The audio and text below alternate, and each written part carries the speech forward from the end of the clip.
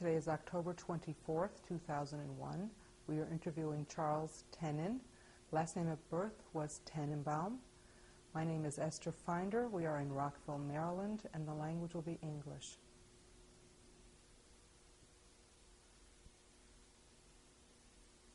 Today is October 24th, 2001. We're interviewing Charles Tenen. Last name of birth was Tenenbaum. Uh, my name is Esther Finder. We are in Rockville, Maryland, and the language will be English. I want to thank you for doing the interview with us today. What is your name? Charles Tenen. Could you spell your last name for me? T E N E N. And what was your name at birth? Charles Tenenbaum. Could you spell that? T-E-N-E-N-B-A-U-M. What is the date of your birth? January 2nd, 1932. How old are you? 69. Where were you born? In Paris, France. Could you please tell me your parents' names? Uh, my father's uh, name was Isaac Tenenbaum. My mother was Etia uh, Gandelman Tenenbaum. Do you have any brothers or sisters? I have a brother and a sister. Uh, my sister is Genevieve. Her last name at present is Hirsch. And uh, my brother is Alan. Where did you grow up? I grew up in France, mostly. Yes. In Paris? Mostly in Paris. What did your father do for a living? My father uh, had a factory with uh, his brothers and father, and it was essentially millinery in, in the heydays of millinery in Paris. Had he ever served in the military? Not to my knowledge. How long had your father's family been in France? They came to France in 1926 and 27. And where were they from before? They were originally from Russia, and they left Russia during the revolutionary period and uh, arrived in uh, Istanbul, which was called Constantinople in those days. They lived in Constantinople for a number of years, and then eventually uh, migrated to France. What work did your mother do? My mother, I don't think really worked. I think that she was very young had uh, two children, and uh, unfortunately became ill soon after.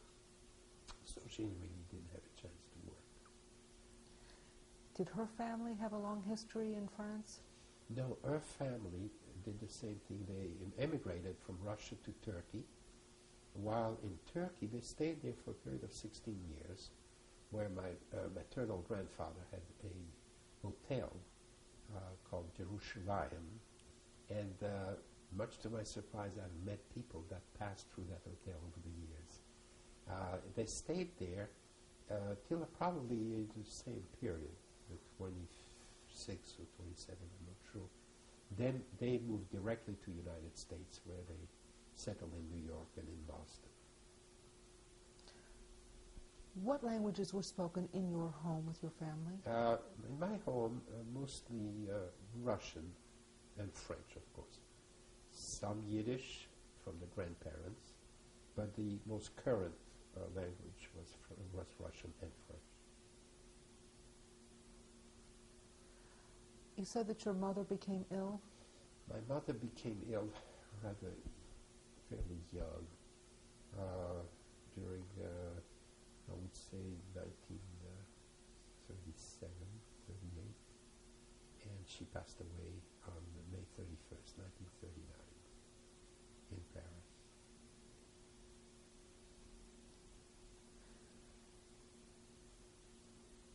Had your family been religiously observant? Uh, moderately so. I think the grandparents more so. Uh, my grandfather threatened that I would have a bar mitzvah soon, eventually. And, uh, we would try to escape the lessons in Hebrew, but uh, they are moderately uh, religious. What traditions did you observe? we had a marvelous tradition because it was a large family four brothers, four sisters, and everything came to the home of my grandparents. So we grew together very close, cousins, aunts, uncles. So all the big holidays were spent there, and very frequently uh, weekend might be spent together, and it was a very, a very happy environment. Did you have a personal favorite holiday? Uh, I think that probably uh, Passover was always a very significant one, and uh, and, and a happy one, and uh, uh, this was pretty much, of course, the other holidays was also celebrated, but Passover seems to be, you know, a significant one. Did your family live in a Jewish neighborhood? No, there was, well, not really. This was not a ghetto type of thing. There were some Jewish uh, neighbors, but it, I would not say that it was a Jewish neighborhood. What were relations like between the Jews and the non-Jews in the years before the war? Well, to my uh, recollection, I was of course very young. Uh, I can attribute that that relation. Basically, I can uh, search and think of what it was in school, and uh, it was at times very uh, very negative. You were identified as a Jew, but it was you know occasional incident. It was not really an overwhelming anti-Semitic feeling that you had as a child as we grew up. Uh, we, uh, we lived in a neighborhood where uh, people were extremely pleasant. Uh, and uh, we lived in, I would say, relative harmony uh, before the war. Did you personally witness or experience any anti-Semitism? Well, I think that all children that grew up and went to school had episodes that were, you know, rather significant and, and uh, disturbing and uh, insulting and uh, aggravating. So we all experienced a little bit of that, but uh, overall we uh, we we would resort to the help of my big brother and uh, a cousin of mine was in school and, and would come to my protection. I had I had the terrible habit of getting into no trouble and but he, he often came to, to help me out. Could you share one example of, uh, of an incident that happened Well, in school, you would be, uh, the term for Jews in French is youpin. That's the derogatory uh, term. And uh, very often, for some reason, whatever it might be, um, you would be treated of youpin or something of that sort. And that would be the initial uh, signal for a little battle or a little uh, argument, and uh, that happened on occasion at the time. Did you attend a public school or a private school? I attended public school at that time. And what kinds of things did you study? Well, uh, we started out, you know, like all common school and earlier grades, where uh, they basically enough teach you how to set a table, table manners, which was interesting at that age. Uh, they uh, did uh, teach you some of the social graces, uh, which now, when I think back, was interesting because of the age group. Uh, it was the proper thing to stand up when somebody came in the classroom. It was also be silent during that period, more or less, of course. Uh, there were there were certain things that were rather strict in the French school system. Uh, then uh, the courses uh, were uh, were much more, I would say, in the earlier years, much more difficult because school lasted till 4:30 in the afternoon. Started early, maybe eight, and after 4:30 you went to a study period from five to six. So very often, by the time you left, uh, it was almost dark, and you had considerable amount of homework. So the course of studies were, I would say, fairly, fairly heavy, and uh, and rather strict in the public school. Was there any religious instruction in the school? None whatsoever. When you were a child, what did you think you might be when you grew up?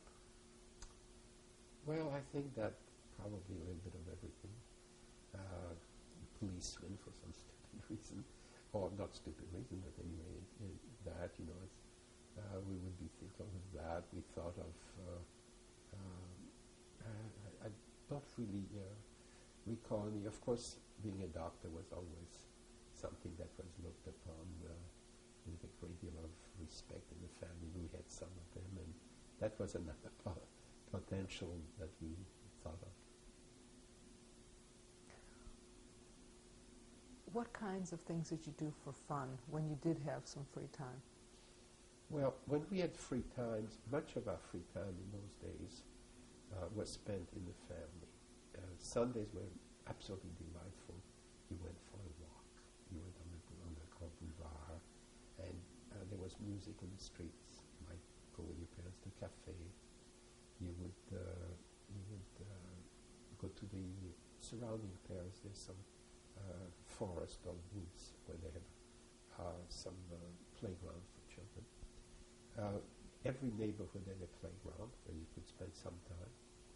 And uh, as we grew older, uh, soccer was played in the street, and uh, played a lot of it. And eventually, as we grew older, we started meeting with friends. And it could be a movie, it could be a promenade. Uh, uh, but basically, this is what it was until we became a little bit more adult. Did you have any chores or responsibilities at home? Ah, yes, I. Uh, we. I yeah. My job was to to uh, wipe the dishes and uh, and the uh, silverware, uh, to participate in setting the table with my aunts, that's a little bit later, of course, when I recall this. And uh, we had another chore. In those days, we had uh, the heat was uh, was cold. So you had to go in the basement, that was usually on the third floor, that was four flights down, with a pail, and get the coal in this bucket and carry it upstairs and put it in the salamander on the heating unit. And that was one of our chores, especially the boys would do that. So one of our chores.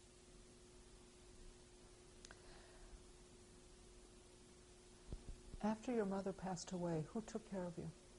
Well, uh, my, when my mother passed away in 1939, I was, uh, I was, uh, my, my grandmother came from New York. She lived in New York, my maternal grandmother, and she came to stay with us during that short period of time. And uh, she tried to uh, take my sister and I back to the United States. Uh, my father hesitated because we were still very young, and he was hoping that we would all go together. And he really was not ready to leave his entire family. So we, uh, she left back to New York, and we stayed. And I moved to my aunt's house. One of my aunts lived very close to my mother. And uh, I lived with their family. That was, uh, there was uh, Henri and Mara. She was my big sister, and he was my brother in that sense. And then my sister moved to my other aunt, Tamara, and my grandparents, my grandmother. And my father moved there too, so that we had a, a bit of a separation, yet no, not really, but we lived separately during that period of time. And uh, that uh, we stayed like this until 1942.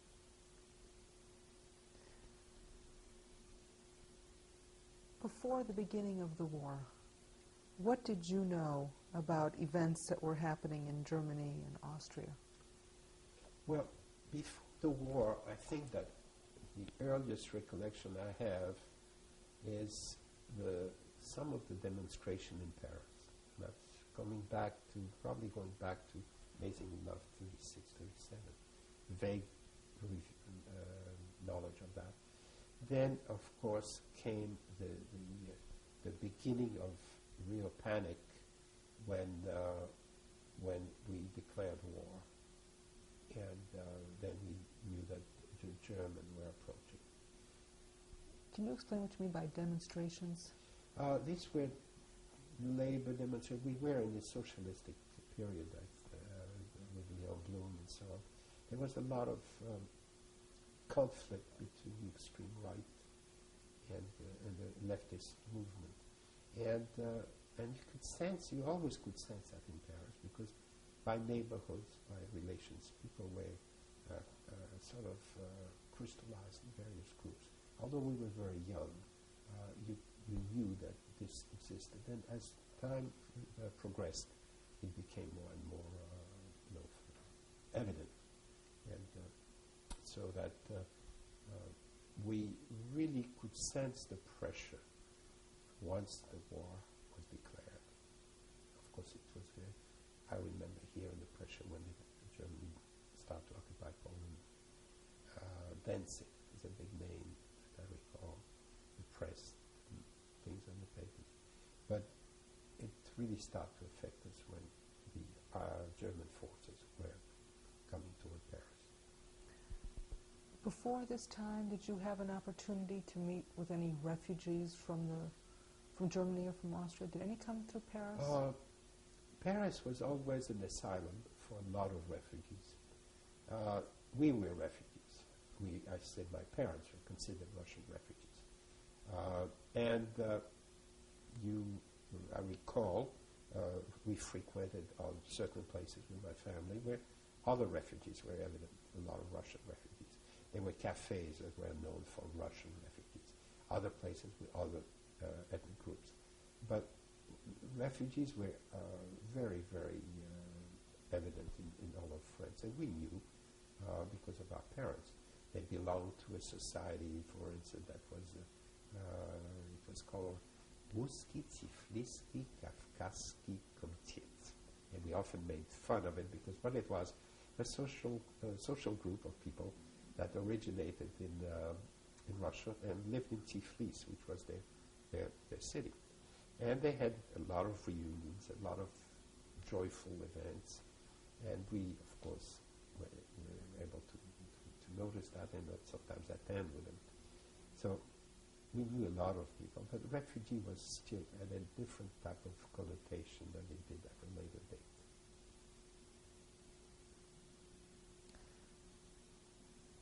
I'm not sure I understand you, whether or not you had any contact with people who came from either Germany or Austria.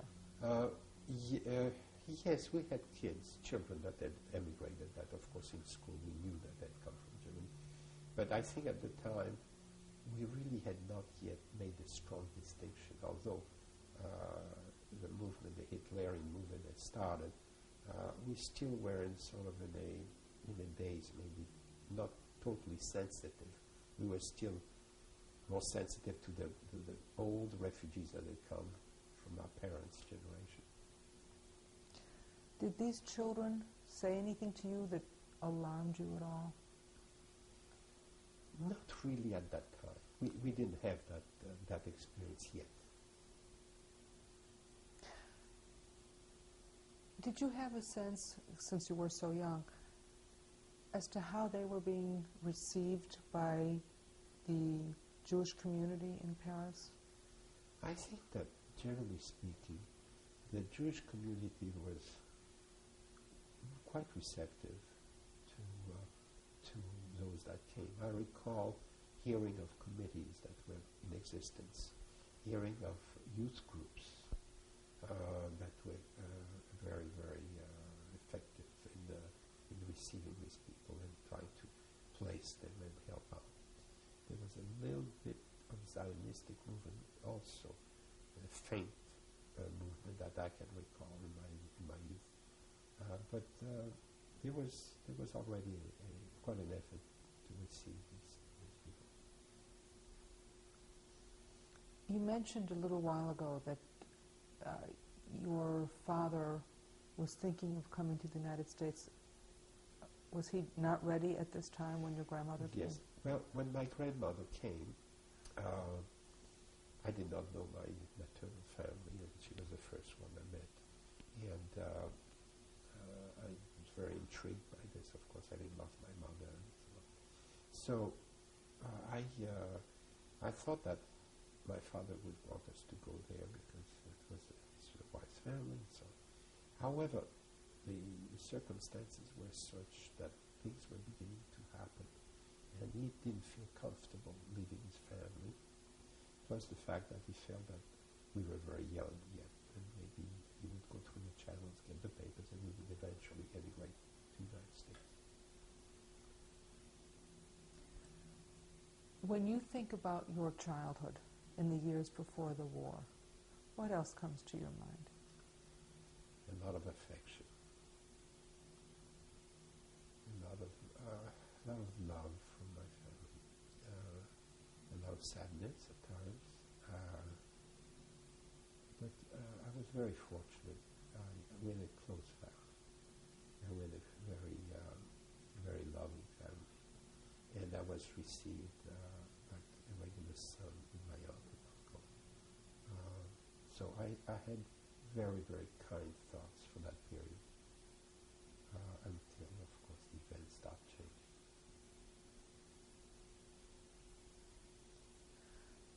Prior to September 1939, were you at all concerned about Hitler and the Nazis? I was, of course, quite young, so I don't think that it, uh, I was concerned. Yes, because we were very sensitive to the news and the family, uh, and I grew up with much older cousins and so on. So I, I was, I was, of course, conscious of it. There was fear. There was the speeches we could hear of Hitler on the radio, which uh, marked us. Uh, there was the anger. Uh, there was the instability a little bit in France. Uh, we were we were concerned, but I think that it became really to focus at the time of the debacle, which was when the Germans started occupying France, and then everything came to focus. So, when the war began, September, September 1st, what was the immediate impact on you and your family? Well, the I would say the word is panic. I think that we shared that with uh, with a great deal of uh, people. We lived in Paris. My father had a car, and it was decided that we would get in the car and we would drive south, and the rest of the family would do other things. But anyway, uh, the good fortune uh, for us was the car broke down, and uh, it was a very fortunate event because uh, uh, on the on these roads, it was uh, terribly dangerous because the roads going south were machine guns from low-flying airplanes, and it was coming from the Italian uh, Air Force. Amazingly, not the German, it was the Italian Air Force that, that attacked these roads. So there was a lot of damage on the roads. However, what happened to us is that we, like the rest of the population, ended up by running to the station and with whatever we could grab. And that remains a very, very vivid image in my mind. It was, um, it was a little bit like, uh, you know, the story of uh, Victor Hugo, where people would take a, a tablecloth and they would put their silverware in it and their bread and whatever they could, because they didn't have time to even get a suitcase. And actually, you could see them carrying that on their shoulders and running to the station. Uh, we were, we left Paris. We were together with my grandparents and my relatives, and we were on the last train that left Paris, going south. Where it would go, we did not know, but we knew it was going south. And uh, that was a very, very special, very interesting ride because uh, it was uh, overcrowded and people were not necessarily uh, courteous as far as older people. I recall people sitting, you know, the French trains. Uh, they would sit in this compartment, and my grandparents, who were al- already elderly, would be sitting on a suitcase in the hallway. Very little courtesy occurred at that time. People were panicked and um, trying to, to to survive. Uh, the fear was very great, and uh, uh, I think that a lot of people had experienced World War One. So I think they did forget. They thought the word that I recall is that oh they will be stopped at the Marne, which was the famous World War One, uh, but it didn't happen. So then in panic, everybody took whatever they could and ran away. Let me ask you exactly when your family left. It was in the summer of 1940. I don't recall whether it was May or June, but I think that was that period. I think maybe June, probably June. And what did you personally take with you?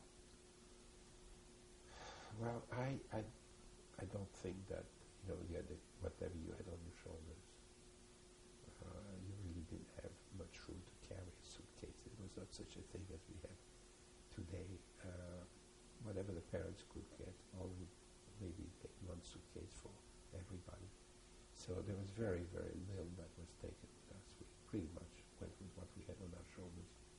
It was a it was a rapid departure, and uh, that's you know I don't recall any specific thing that I could really carry. It just wasn't No personal time, life. no personal. Were you able to say goodbye to your friends? No. How was all this explained to you?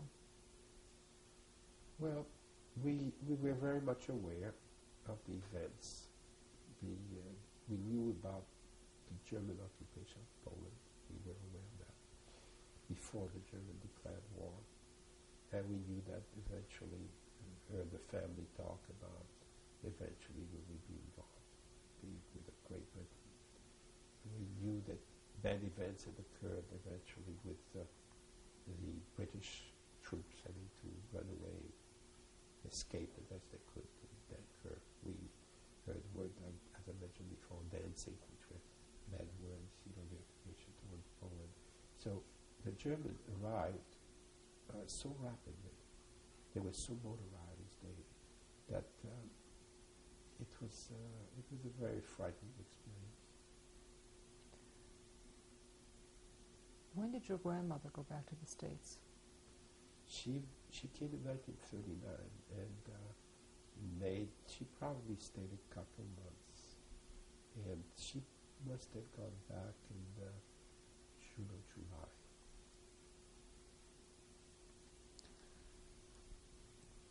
You were fairly young. Did you have any anxieties or nightmares at this time? Well, we we we had certain fears. We uh, I think what some of the experience we had uh, uh, when we arrived with the train ride, the train uh, ride was a little bit traumatic, and uh, we arrived in a place called Angoulême, which was the capital of the department of Charente. And we arrived there, and the train just stopped, and everybody was asked to go, uh, to descend and uh, the. And we uh, all migrated toward the park, where we kind of spent the night outside. And the frightening uh, experience that really was the real beginning of truly experiencing the war was the bombardment. We had uh, areas were bombarded, and you could hear the sirens. Um, and uh, we fortunately were able to get a new existence there with people that took us into their house. We're going to pause and change tape. Just one minute.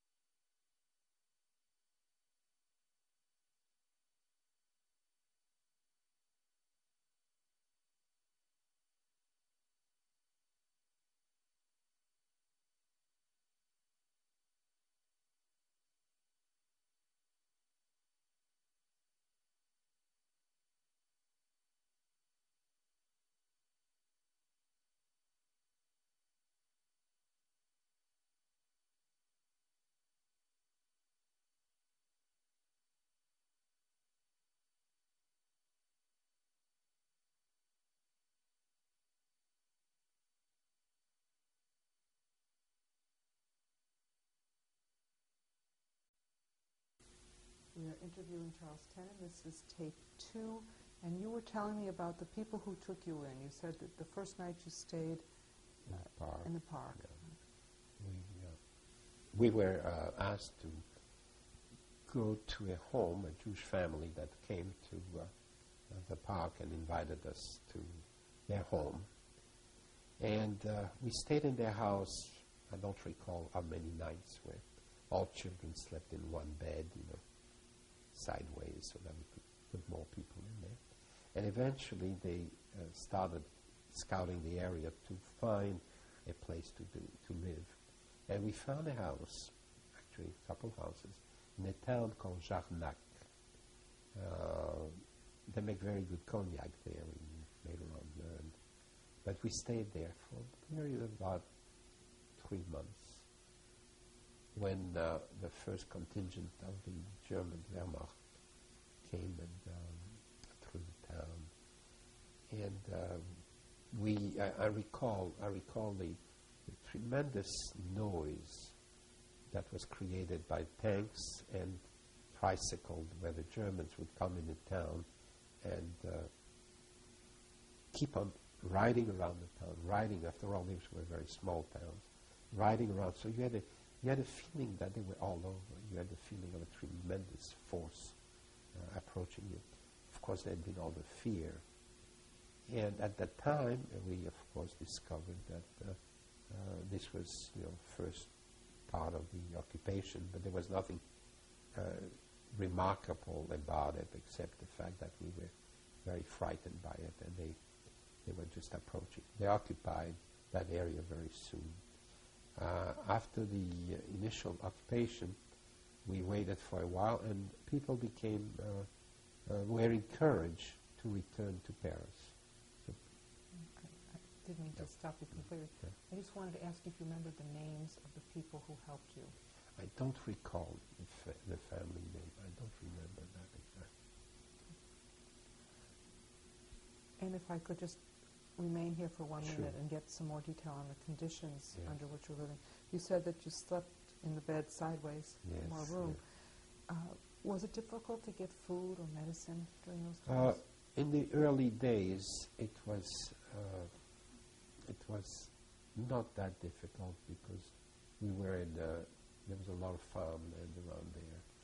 Uh, there was, of course, a lot of refugees, but I don't recall that being exceptionally difficult. Of course, you had restrictions, you, uh, a lot of maybe some abuse. I, I recall people charging for water. It was a little bit spectacular. The price of these things. Of course, people do take advantage of the situation always. But somehow uh, the family was managing to survive, I would say, considering what happened later on, rather comfortably, if I may say so, uh, until uh, we were encouraged to go back to Paris. One last question. Did you have any restrictions on your movements, you personally as a child? N- Well, everybody was a little bit careful. We did not know what would happen, so the children were kept close to the to the home, to the house. But uh, that was not really a not at this stage of the game. It was still quiet. How were you enticed to return to your home in Paris?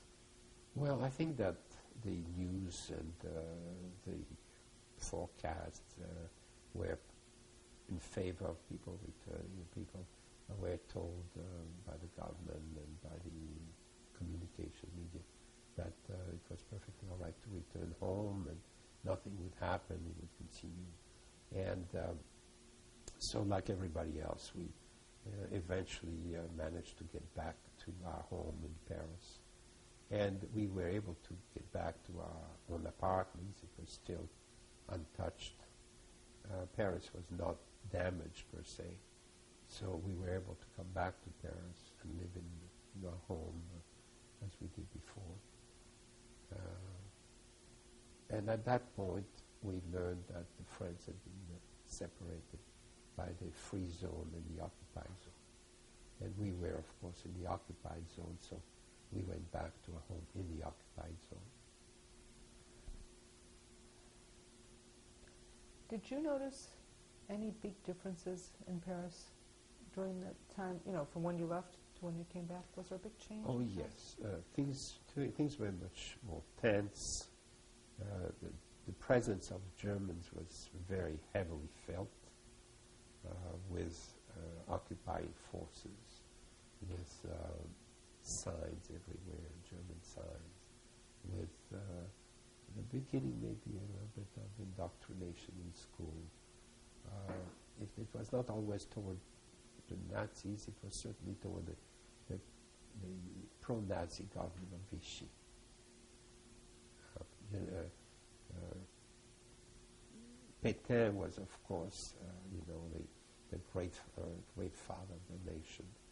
And uh, beside all these pictures, we had recitations of, about the, the, the the admiration, quote unquote, that we're supposed to, to, to show to, to, the, to the great father.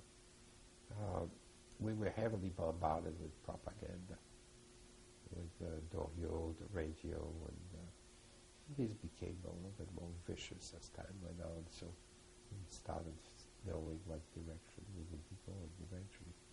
Uh, you you, I'm going to interrupt you. Can you elaborate? Vicious in what sense? Uh, the, the, radio commentaries became uh, more uh, more arrogant, more uh, anti-Semitic, more um, I would say probably explaining the of showing favoritism to the to the German, the great German uh, uh, nation, uh, the Aryan society, and uh, uh, so you, you, could sense you could sense already a tremendous collaboration was beginning with the French government and, and the Nazi occupying forces. Did you, as a child, notice any distinction in the way that the Jews were treated, or, or the way the Jews were living in the countryside versus the way they lived in the city?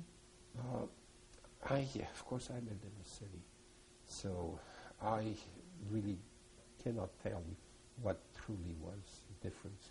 But I know in the city, uh, we, we, we, certainly sensed very heavily the uh, anti-Semitic uh, propaganda.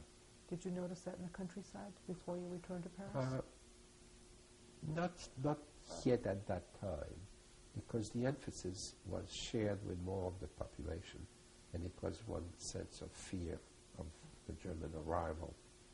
And later on, it became more uh, fragmented and uh, specific. When you returned to Paris, did you did your family have a contingency, excuse me, contingency plan in case they ever needed to flee again? Well, I think things happened so gradually. I don't think that we thought that we would have to. We, we, we had the, the happy notion that, well, things would be difficult, but uh, we were back, and uh, the Germans imposed, and the French certainly supplied all the necessary support at the time to, to evolve slowly. Not too slowly, but slowly in the sense that first of all, uh, uh, we, uh, we were brought back to Paris and tried to give the feeling that life was normal. But very soon after, it became evident that life was not normal in many ways. Restrictions here, restrictions there, uh, considerable changes in the, in the supplies. Uh, we were given, uh, we were classified according to age, and you were given uh, uh, Uh, uh, cards for uh, food, uh, so many grams of meat, so many grams of, of bread, or maybe if you were a, a J3, what they call it J3, it was a, the younger group, you were allowed the equivalent about a cup of milk, for instance.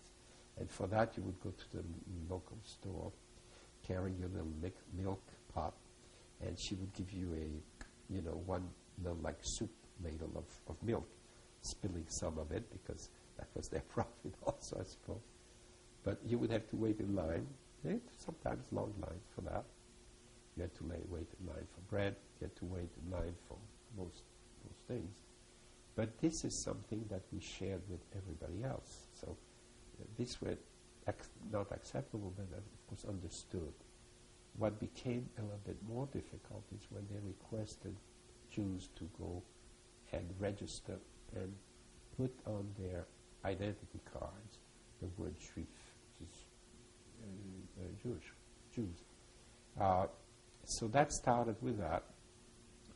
And the French Jews uh, who had fought for France were, were heroes of World War One, who were very assimilated, never could believe that they would, after all, they were first they were French, and they, they would say a reluctance to believe and accept the fact that uh, the Juda- Judaic background would be far more, uh, you know, uh, important in terms of the occupational forces and the, the French government. We, my parents being uh, refugee uh, refugee Rus, I would say, I mean, uh, they were um, uh, Russian origin, they had an identity card which was like a, a, green accordion, and that was all the refugees had. So it was an interesting thing. And of course, on that stamp, the stamp of Jew. Uh, French Jews had also the stamp. Some people refused to do it and took a chance because, as you know, in France, everybody has an identity card.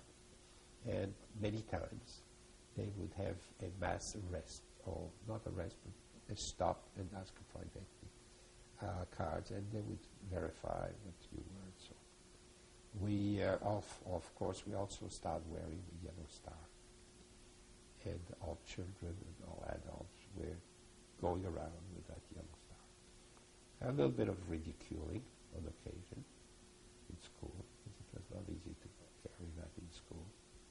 But uh, it was still mild in those days, as far as I can recall.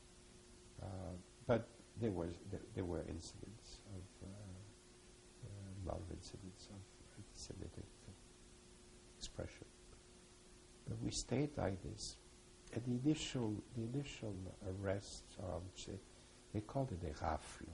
They would stop a certain area, uh, stop everybody in a certain area, and uh, uh, ask for papers. And, uh, and the ones that started to really feel the wrath of the Nazi uh, occupation were those that were uh, of Eastern origin. I would say uh, mostly uh, Polish. And so, for some reason, uh, if later on the, the, Russians were involved, but it started out a lot with the Polish and the Eastern, and they would be arrested.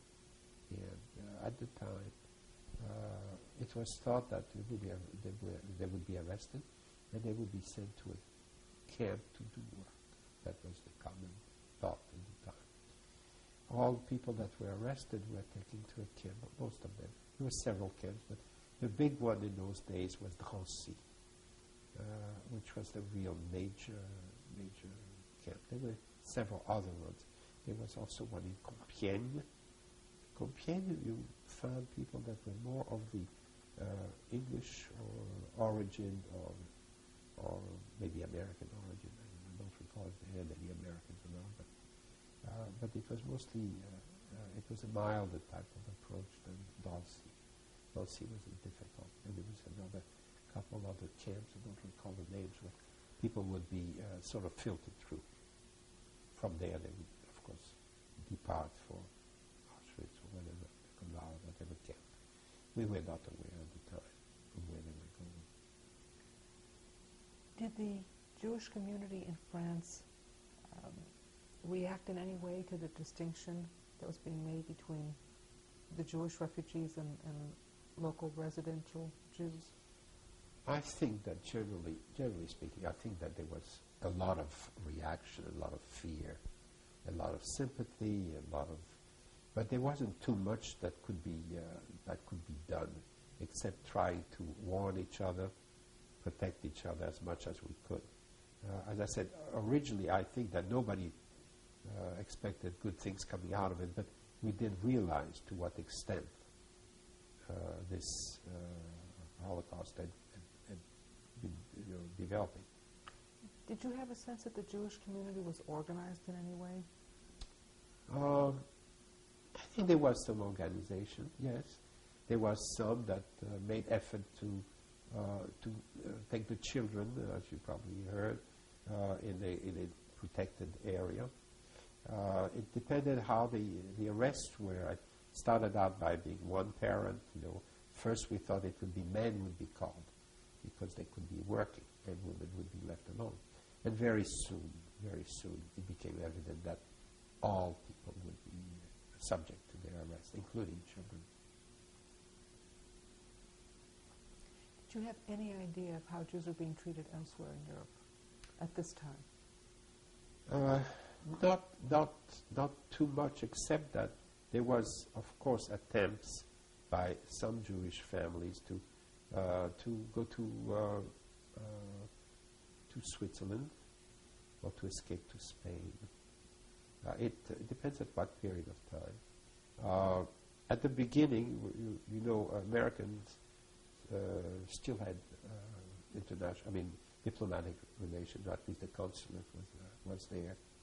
Uh, in 19, uh, 1940, uh, I think in June, June 40, we were we were trying to go to the United States and to join my maternal family, and we had already applied for papers, and there was a great deal of difficulty in obtaining papers from the American government.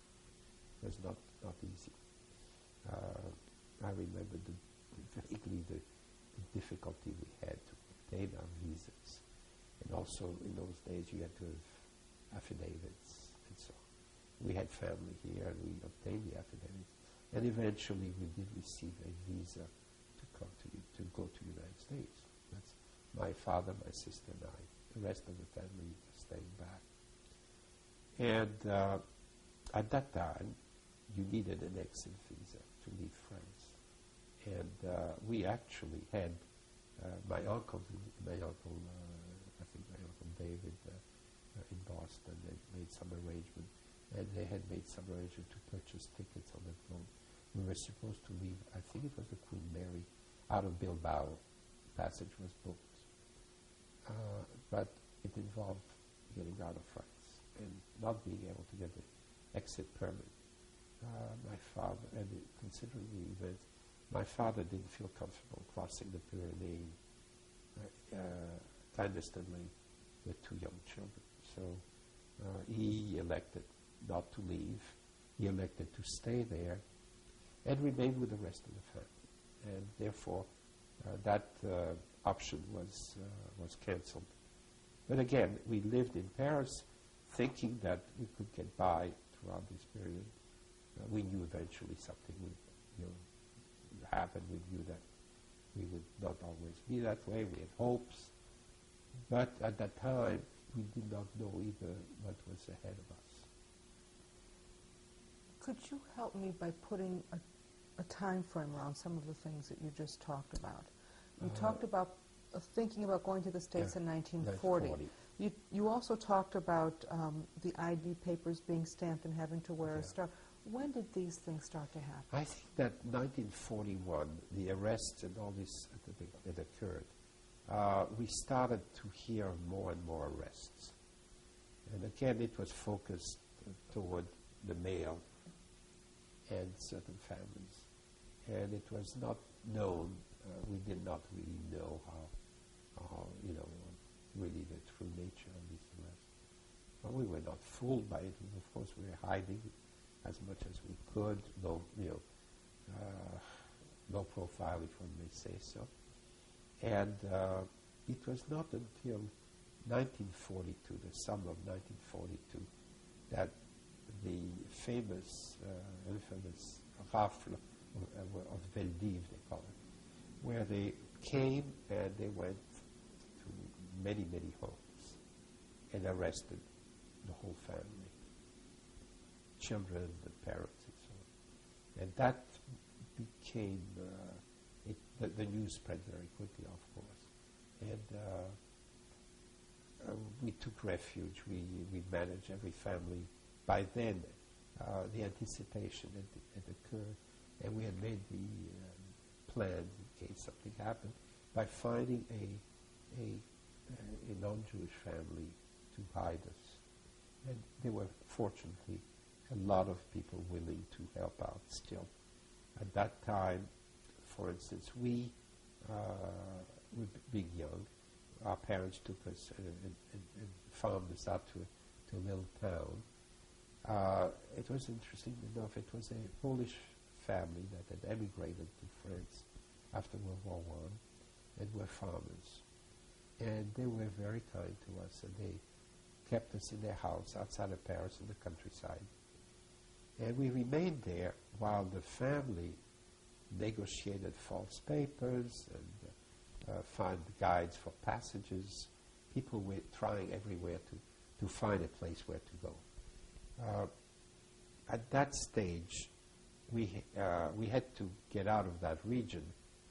And in any way, some people went to, as I said, to, to Spain, some people went to Switzerland, but a lot of us went to the free zone, what we considered at the time the free zone. Before I have you go into the free zone, let me see if Sure. about one or two details. Do you happen to remember the name of the farmers who helped you? Unfortunately, I don't. Unfortunately, I don't. Uh, these poor people, uh, after the war, uh, were, uh, were given all sorts of encouragement to go back to Poland. They did go back. And we had one letter from them telling us in whatever term they could how miserable they were. And we managed to send them some packages, you know, to help them out. But we only heard it once, and that was, you know, at the end. So uh, I, I don't recall the name of it, but uh, no, I don't recall. it. And one question about the roundups that you Yes. had described. How did they track you down? Well, at the beginning, uh, you know, uh, they had the list of people. They had the list of people, and they had, unfortunately, some very ambitious and very cooperative people that were willing and ready to act. Now, amazingly enough, much of the arrests were done by the French police, of course. Uh, they were arrested by the Gestapo. They were occasionally uh, a, uh, a assassination of an officer, German officer, or a German soldier. Then they would arrest 50 people and shoot them. This was not an unusual situation, but it was not directed to, to the Jews per se. Uh, but as time went on, uh, the emphasis was on Jews, of course. And uh, they would follow the list. At first, it would be in the street, for instance, in a mass arrest and filtered through if you were Jewish. But later on, what happened was they, uh, they followed the list and would go to the house and uh, look for the family. Now, you know, Paris apartments had the concierge. The concierge dates back to the Napoleonic period, and the concierge had a very strong and very important function. Uh, she knew everybody in the building. She knew, and she was, you know, the, the, the slang expression is a pipelette. She would know everything that's happening. And it was a, her, uh, her reputation to, to, to put her nose a little bit everywhere. However, there were some concierges that were very decent and very helpful and very sympathetic to, to, the, to their tenants. And there were those that were just the opposite. Uh, some concierge in the time of arrest, for instance, they would come to the concierge, the police that is, and ask, uh, I would like to see Mrs. or Mr. or Miss Trent Torzhanovsky, happened to be a friend of mine, very good friend. And uh, the concierge would try to delay their, their, they're not here, or they go back, or find some sort of excuse to help out. Uh, there were those concierge that would be glad to take you there and show you where, what floor they lived in or where they lived. Uh, some, uh, some occasion, like our friends at Trozhanovsky, had the good fortune of uh, hiding in a closet. And I think the first time they came, they saw the mother, and they told her to please get all your luggage ready and your valise ready. We'll come back in about half an hour. And there was not really places to go. So half an hour came back, they were hiding in the closet. Somehow, unfortunately, the police did not push the issue. It happened. But there were a lot of ambitious police that did not do that, and a lot of uh, uh, concierge that were very cooperative. That occurred in my own family. Uh, in, the, in the home where I lived with my aunt, Uh, she happened to be alone at the time, and the concierge was more than happy to direct them. As the police came and uh, made their arrest, tried to find out where the rest of the family was, and if they couldn't, on the door they would put a wax with a stamp, with the uh, swastika. And this, in essence, meant that you could no longer go into that apartment. This was all closed, and uh, until further notice, no one is to come back, namely the occupants. And the concierge was a little bit held responsible if there was a break-in of that seal to report it in case somebody went back, get some things out, you know, whatever it was. Uh, a lot of concierge delayed the reporting, and some of them broke the seal themselves and helped themselves, and I think that's what happened in our house. Uh, so you, you, you had to know your concierge, but more than that, people are strange under these circumstances, and they change, and there was a lot of sad, sad experiences. Uh, of course, we never went back to this apartment, and uh, we managed to be in that farm that our parents had taken us while they were trying to find a way. After about a month or two, parents came back to get us. Let me ask you Sure. one more question Sure. before I have you leaving Paris completely. Were you aware of any French laborers being sent to Germany? Uh, I think that the laborers being sent to Germany, I, I think that there was a, a talk of that, but we became more and more uh, alert to that uh, in the following year, in, I would say more later than 42.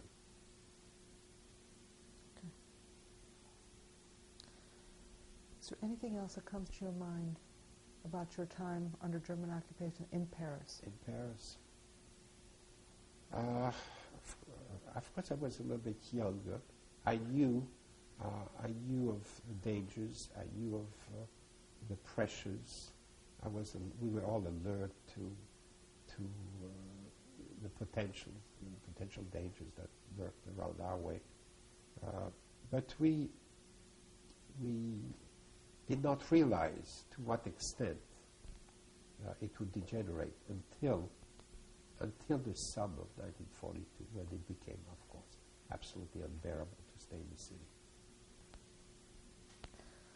When you left Paris this time, were you able to say goodbye to, to no, France? there was no goodbye. There was And what did you take with you when you left this time? just what we had on our back. We had lost everything in our house in Paris. We had, just before the war, my, my uh, cousin Mara had just gotten engaged to a very fine gentleman. And there was the, the, idea of marriage, and there was photographs, there was records, there was a lot of happy moments in the family sense. And uh, when this occurred, we always split up. She went one way, my cousin Henri went another, uh, my other cousins went different ways. Everyone was sort of divided, parted, and we lost everything we had. You know, photographs, objects, clothes, nothing was left. We're going to pause to change Sure.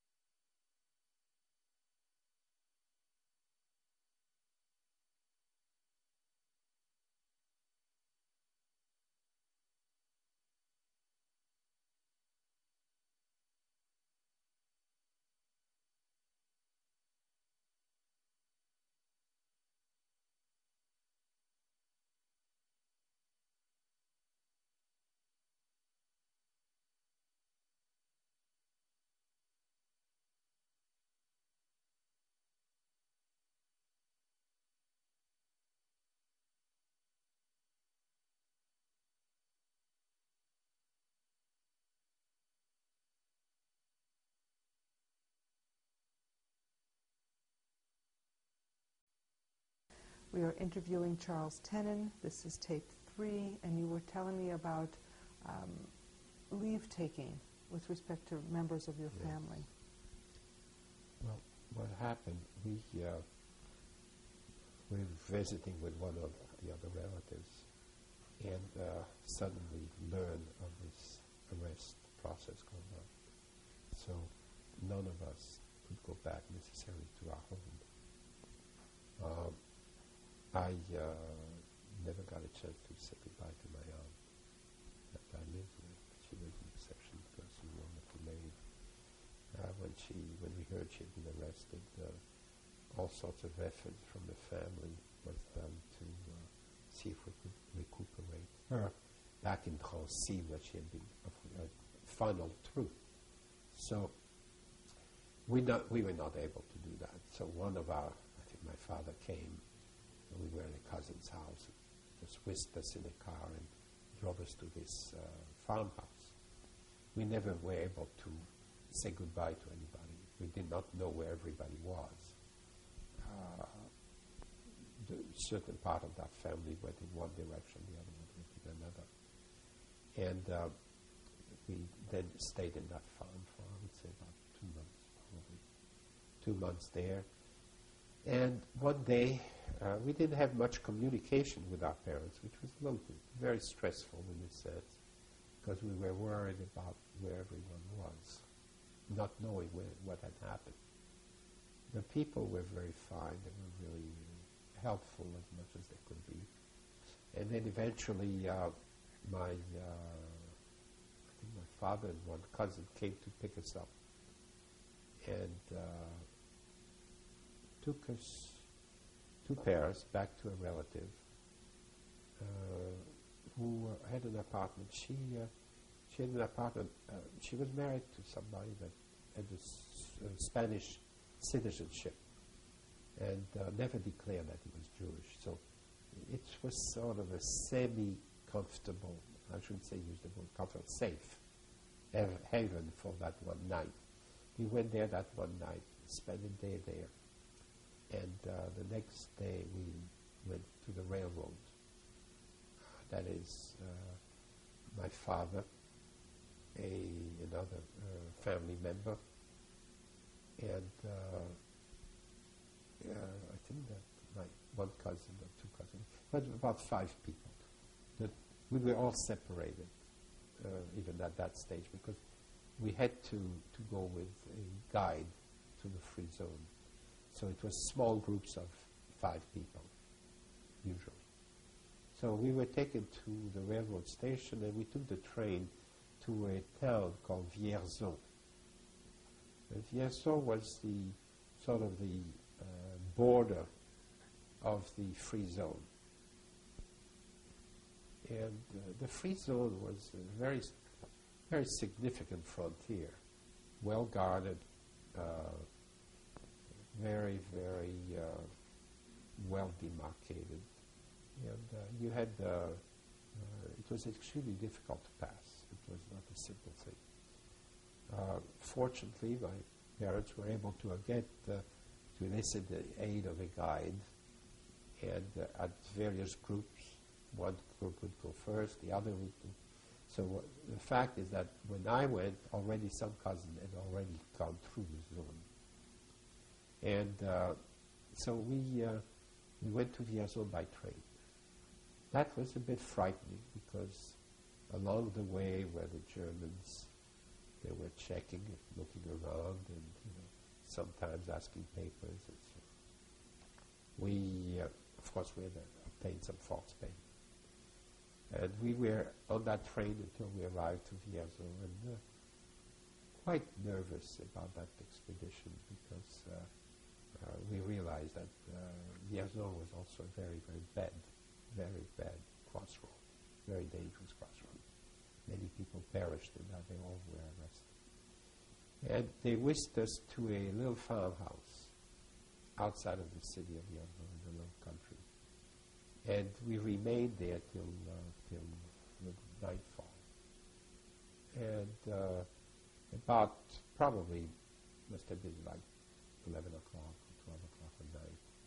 We prepared and we started marching with a guide through the so-called safe passages that the guide knew. And we crossed uh, the zone walking through fields, barbed wire fields, and uh, uh, and you could hear the dogs in the background sometimes.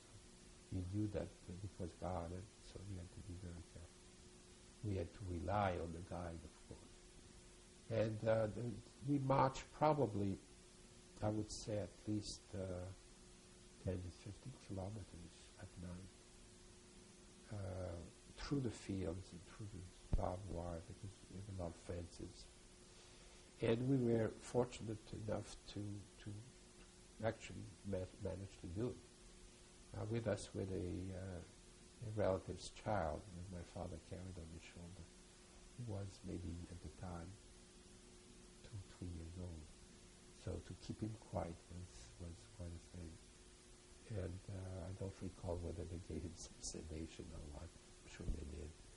But uh, we were uh, able to just march. And uh, of course, we arrived to the uh, other side in the early morning. And uh, as we arrived there, the last distinct position of the zone, we fell upon a group of gendarmes who uh, were waiting for us. They knew we were coming. So the question is, are you arrested? Well, yes, of course you're arrested. So you go to a, uh, uh, to the station, and that's where the negotiation began. And obviously, what was happening, uh, they were not benevolent, but somehow some money must have exchanged, and we were permitted to go out. And we went to a hotel where we stayed for, I think, maybe a couple of days, and waited. Waited until all the lines of communication that would be uh, would be uh, arranged. I had an aunt who, uh, my aunt Jeanne, who was uh, not Jewish, marvelous lady, and she was doing the communication, the interfamilial contacts.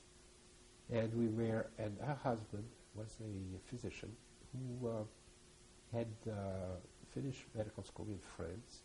During the war, went to the army, became a, a, a, medical officer, and at one point was told that they'd been uh, they'd been uh, surrounded and uh, was told that they should all escape as much as they can.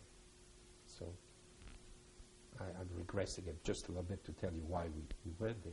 So what happened is that he got on a bicycle and he rode down as far as he could. And he arrived to this little town called Sardent, which is in the central part of France. How it happened, why there, I have no idea. It's just a fortuitous thing that uh, he happened to be there, where he was received by a very fine family. Their name was Napoleon, like Napoleon. And they were absolutely wonderful people. And they sort of kept him and uh, took care of him. And this became a point of reference for us once the war started, soon after his escape. And that is how we went from the free zone, from that little town that we crossed, we directed ourselves towards Sardent. And that's we, we also landed there on, that family. And uh, they facilitated our, our dispersal in that area. And the uh, way you did that, of course, we rented uh, apart- houses and the uh, need was to be as uh, inconspicuous as possible. So we uh, went into an area in a little town, uh, maybe a few miles away, about six or eight kilometers from there, a little village, very, very small village called Villeveygout. And uh, in that town, we rented a farm, a farm that had not been worked for 25 years. And the owner was very happy to have somebody occupy it and work. Because out of the, not only would he be getting some income out of the rent, but he would also uh, be able to benefit from the crops. And that was important too. Uh, some of the members of the family stayed in Sardent and uh, established themselves. There were already a lot of refugees from Paris, not only Jews but others. So it was a it was a sleeping town that came alive during that period, and uh, we uh, we established ourselves there. Uh, there was only one physician in town, and then it was my uncle. There was uh, one cafe, one church, one small garage that was converted to a movie. There was a little school. We arrived there. We stayed in a small hotel. It's an old. Looking back today, I would say it was quaint, but in those days, it was a different story. Uh, we stayed in this hotel, and while we were in the hotel, the family arranged, made all the arrangements so that we could uh, live in, in this uh, farm. And uh, at this point, little by little, members of the family filtered. Then we got news that some of them had been arrested. An aunt of mine, Tamara, was arrested. Uh, an uncle of mine, uh, Albert Schwartz, was arrested. An uncle of mine, my, my, my say was Moise, that was the uncle where I lived in this house, was arrested. All of these people were arrested and they put in the, in the concentration camp, but in the French free zone. And uh, in that free zone camp, they was made them work, whatever they was. So they all, they all were, and there was another uncle, my Sunya, that was also arrested and put in that camp. And that camp was uh, in a, fairly distant. It was uh, by train maybe four or five hours at the time from where we lived. But at least we knew that uh, we had news from them, and we knew that they'd been arrested, but they were in that camp rather than being deported right right away. So we were. And do you remember the name of that camp? Oh, I, I can't recall the name exactly. It's uh, it escapes can't, I can't recall exactly the name, It's to be honest with you. Uh, there, there were fair, there were several camps that were fairly well known at the time. That was one of them.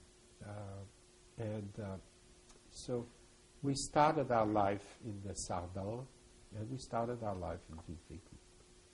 And uh, uh, of course, there was tremendous fear, and of course, we knew that my aunt Aya had been deported through Dor- Drancy, and we knew that by then we knew that everybody in Drancy had sent to or Auschwitz. Uh, what their fate was, we were not sure yet at that time. We, we certainly didn't expect that it would be very, very bad, but we did not know precisely to what extent. Uh, when my cousin Mara we had fled toward uh, Switzerland, uh, Besançon, and then eventually Nice, the southern part of France. So she tried with a guide to cross over to, to uh, Switzerland. Uh, we had some communication, amazingly enough, but very careful, you know, coded type of thing. And uh, she had sent me a letter like the big sister, what to do and so on. And I knew that my aunt was deported, but I couldn't tell her that because at the time she was pregnant. And we were hiding from her the fact that her mother had been deported. So we found excuses to cover this, this uh, situation. And uh, she tried to, to, to flee, to, to, to run away to Switzerland. They took a guide, and uh, like we did for the free zone, in the middle of the night. However, the guide turned out to be very unreliable. It was not rare to find a guide that would collect the money and would just deliver you to the German. And you know, he was rewarded plus, you know. And they were in that setup. Uh, fortunately enough, they recognized it early enough. They were suspicious and they stopped the, the run, the run and went back home to their hiding place. And they ended up the rest of the war in Nice in hiding. From our side, we were still in that place called uh, in Sardent. And uh, grandmother was alive. By then, my grandfather passed away. My grandmother was there with a daughter of the daughter, Tamara. Then my uncle Albert with Jeanne lived in another place. and uh, we had uh, Luba, who, uh, my aunt, whose husband was in a camp, that lived in a different place. Anyway, we ended up in Villevégou as farmers. And you can imagine a bunch of Parisians in, uh, in a farmhouse. Uh, the land was not very, it was a, a farm that had not been well. The area is very mountainous, rough, stony, uh, lots of forest, uh, very undeveloped. Still today, it's very undeveloped. Uh, so we, we had to hire people to teach us how to farm. And of course, we had to get some cattle because you needed cattle to do the farming. And you had some sheep because that was what was being done. You had a couple of pigs in the barn on the other side. No, that, the barn was an old, old house uh, with big, big flagstones, no running water, a fireplace that burned all the time, and we were surrounded by woods. And uh, my aunt had a house not too far from it. The roads were just mud. And we all managed to live. There was one big room where everybody shared the room. And then another room where one of my uncle lived. And we somehow managed to, to live there for, for a while. Uh, things were a little tough, not a little tough, they were sort of treacherous. But at the beginning of 42, after we arrived there, in the free zone, we thought we were safe, quote unquote. So it was time for the parents to send us to school at school age. So three cousins and I were sent to school in Boston. Uh, in Boston, I beg your. They came in Guéret. Shows you Boston is back in my mind. But anyway, we went. We were sent to Guéret, which is the capital of the state. The state department Creuse, and it's right in of France. So we went. We were sent. The four cousins were sent together.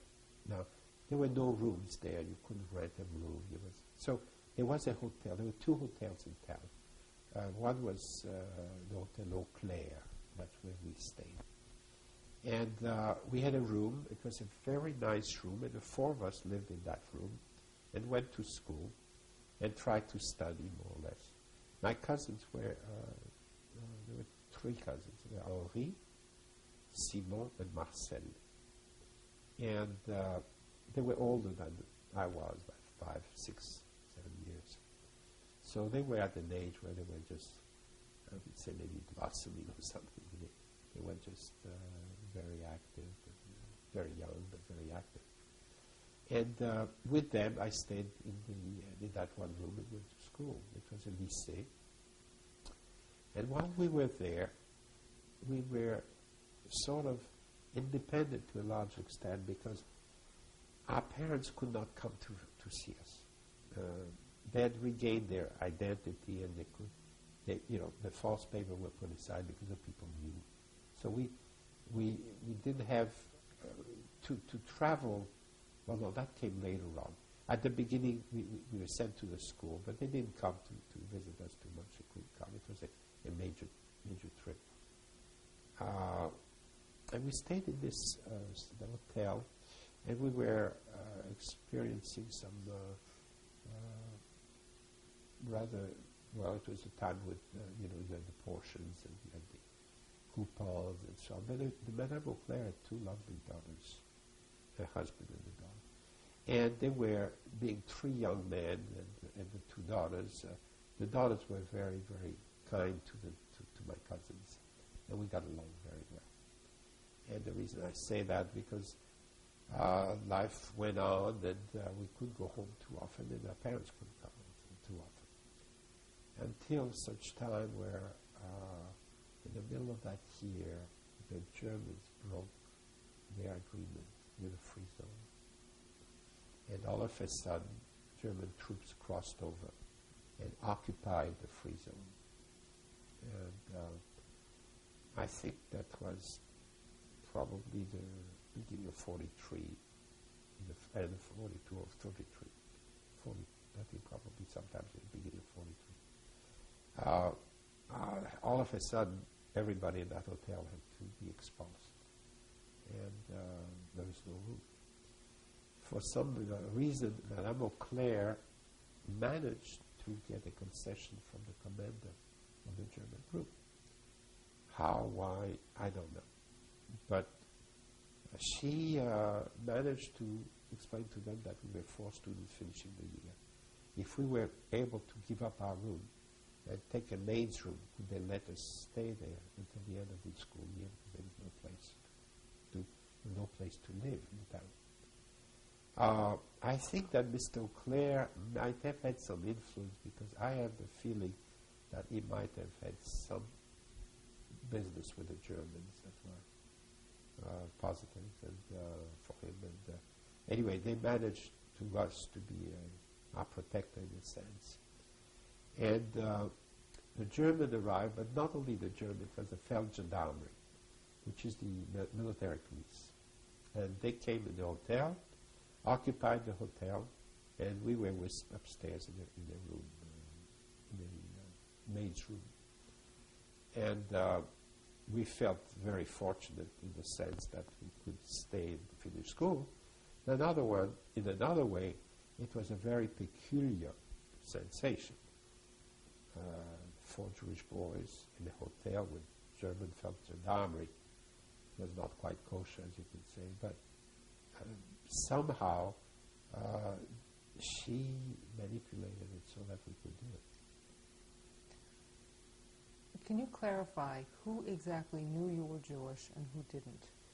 I think that Madame Auclair knew we were Jewish. Uh, the Germans did not know we were Jewish.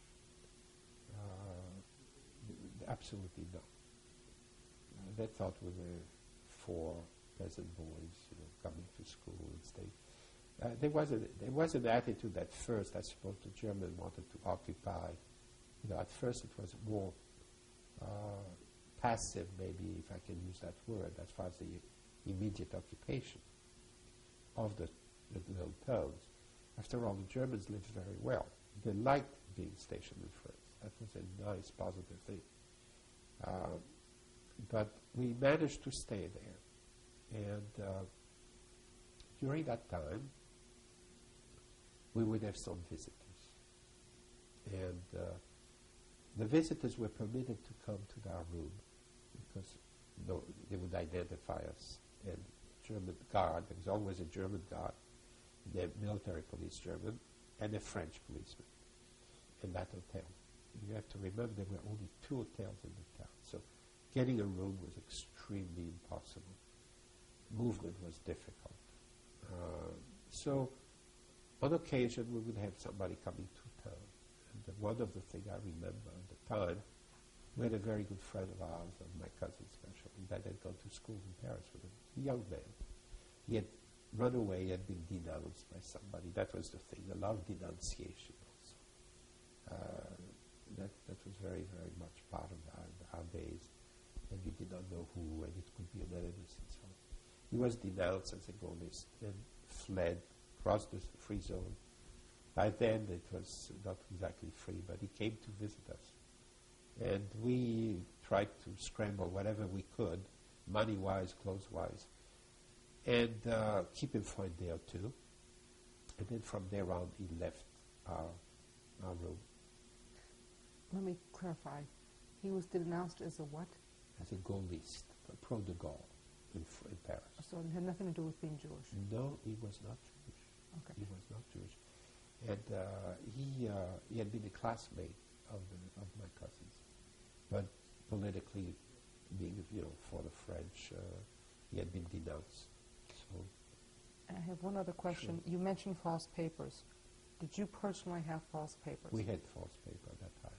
And what was your name? On the false paper, there was we, the name that we had was uh, adopted was a which was the name of which was the name of a river in the area, and uh, uh, we uh, managed to to take this young fellow the help him. He went on his way. Briefly went to Spain, joined the Free French, and we heard later on that he's been killed at Montcassin, 18 years old. Before I let you go any further, Yeah. can you explain a little bit about the conditions, the actual physical living conditions of all of you in the maid's room? room, yeah. It was, uh, it was a, uh, it was interesting in the sense that we uh, we had two made two big beds, and uh, we were going to school, and come home there. Like everything, certain strange incidents occur. Uh, the soldiers that were there, although they were military police, were just as young, maybe a little bit older than we were, but fairly young. And uh, there was not much communication, but there was sort of a hello, goodbye type of situation. Uh, a cousin of mine played the harmonica, and uh, one day they heard it. And they came and asked him to join them to play the instrument. So that's as far as the social exchange happened one time or two. The other thing that happened is that being four boys in the room at that stage of our life, we were not exactly careful. And uh, there was a bidet in the room, for instance, and we would use that to wash our clothes. By one time, we failed to uh, to close it, and it flooded. And uh, much to our chagrin, we came running in and found that it had flooded, and it passed by the door, through the corridors. Now you have to remember, everything was polished, spit polish on the floor. But water had stained it, and it went into the German room. Uh, absolutely frightened, absolutely frightened what we're going to do because we couldn't leave it that way. So we called, ran downstairs. First of all, everything we had went on the floor. Sheets, towels, shirts, clothes, whatever to, to, to correct that. We called Mrs. Claire was the owner, and she came upstairs, and of course, so what happened? So we cannot leave it that way. So she had a pass. She went into the German room, and we proceeded by white because we found spot that was there. And I recall that room was interesting because there was a big portrait of Hitler, and there was some uh, hot plate, electric plates that they were not supposed to cook in their room, but obviously they were cooking in their room. And uh, well, anyway, we, we did our thing as quickly as possible to get out and frightened them of the consequences. And uh, that evening, they came to the room and they saw the spot and they followed it right to our room. So they knocked at the door and uh, said, "What happened?" You know. And we explained that uh, we use the bidet to usually wash our feet, but this time we wash clothes. And the water overran us. They started laughing. And was, that was the end of this incident. Uh, we saw them, you know, it was a very, very strange thing because we were, we were scared, but then uh, in another way, we were not scared of much, you know. We, we just knew that it was yet to be very careful. But Madame Auclair was really our, our protector. So we went to school and continued. Several people crossed our path in that, in that hotel. Uh, the coach of the lycée was a known underground, uh, you know, personality. His name was Professor Rider, Rider, whatever. And uh, we sort of hid him one night. He slept in the room, and we felt we were guarded in a sense. Then, on occasion, an aunt of came. When one strange, sort of funny incident. She she loved candies, and for some reason, we managed to get some candies, and she knew it. And it was an armoire. It was we were hiding it on top of the armoire. So while we went down to have lunch, she came visiting, and went for the candies, and the whole armoire fell down. Tremendous boom. German saw there was a bomb. Went upstairs. We found our aunt on the floor with all that. Everybody had a good laugh. That was the end of that. We were very fortunate. We have to pause to change tape.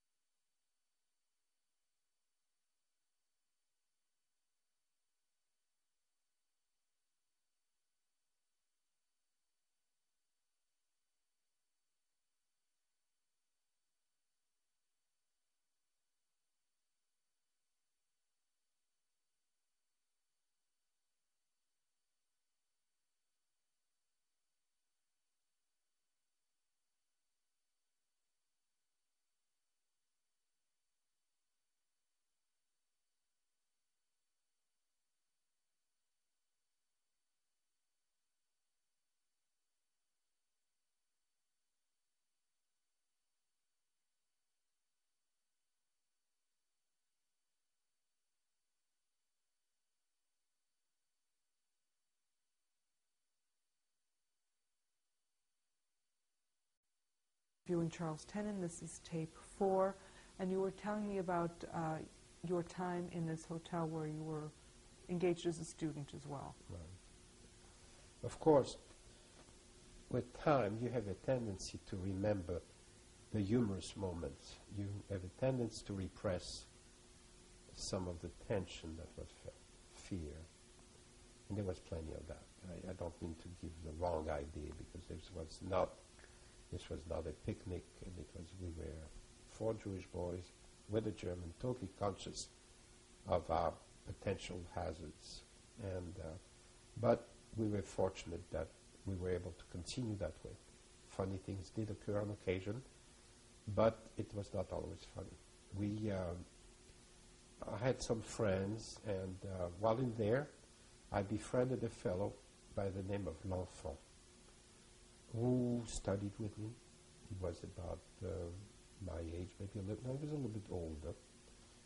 Uh, and I studied with him.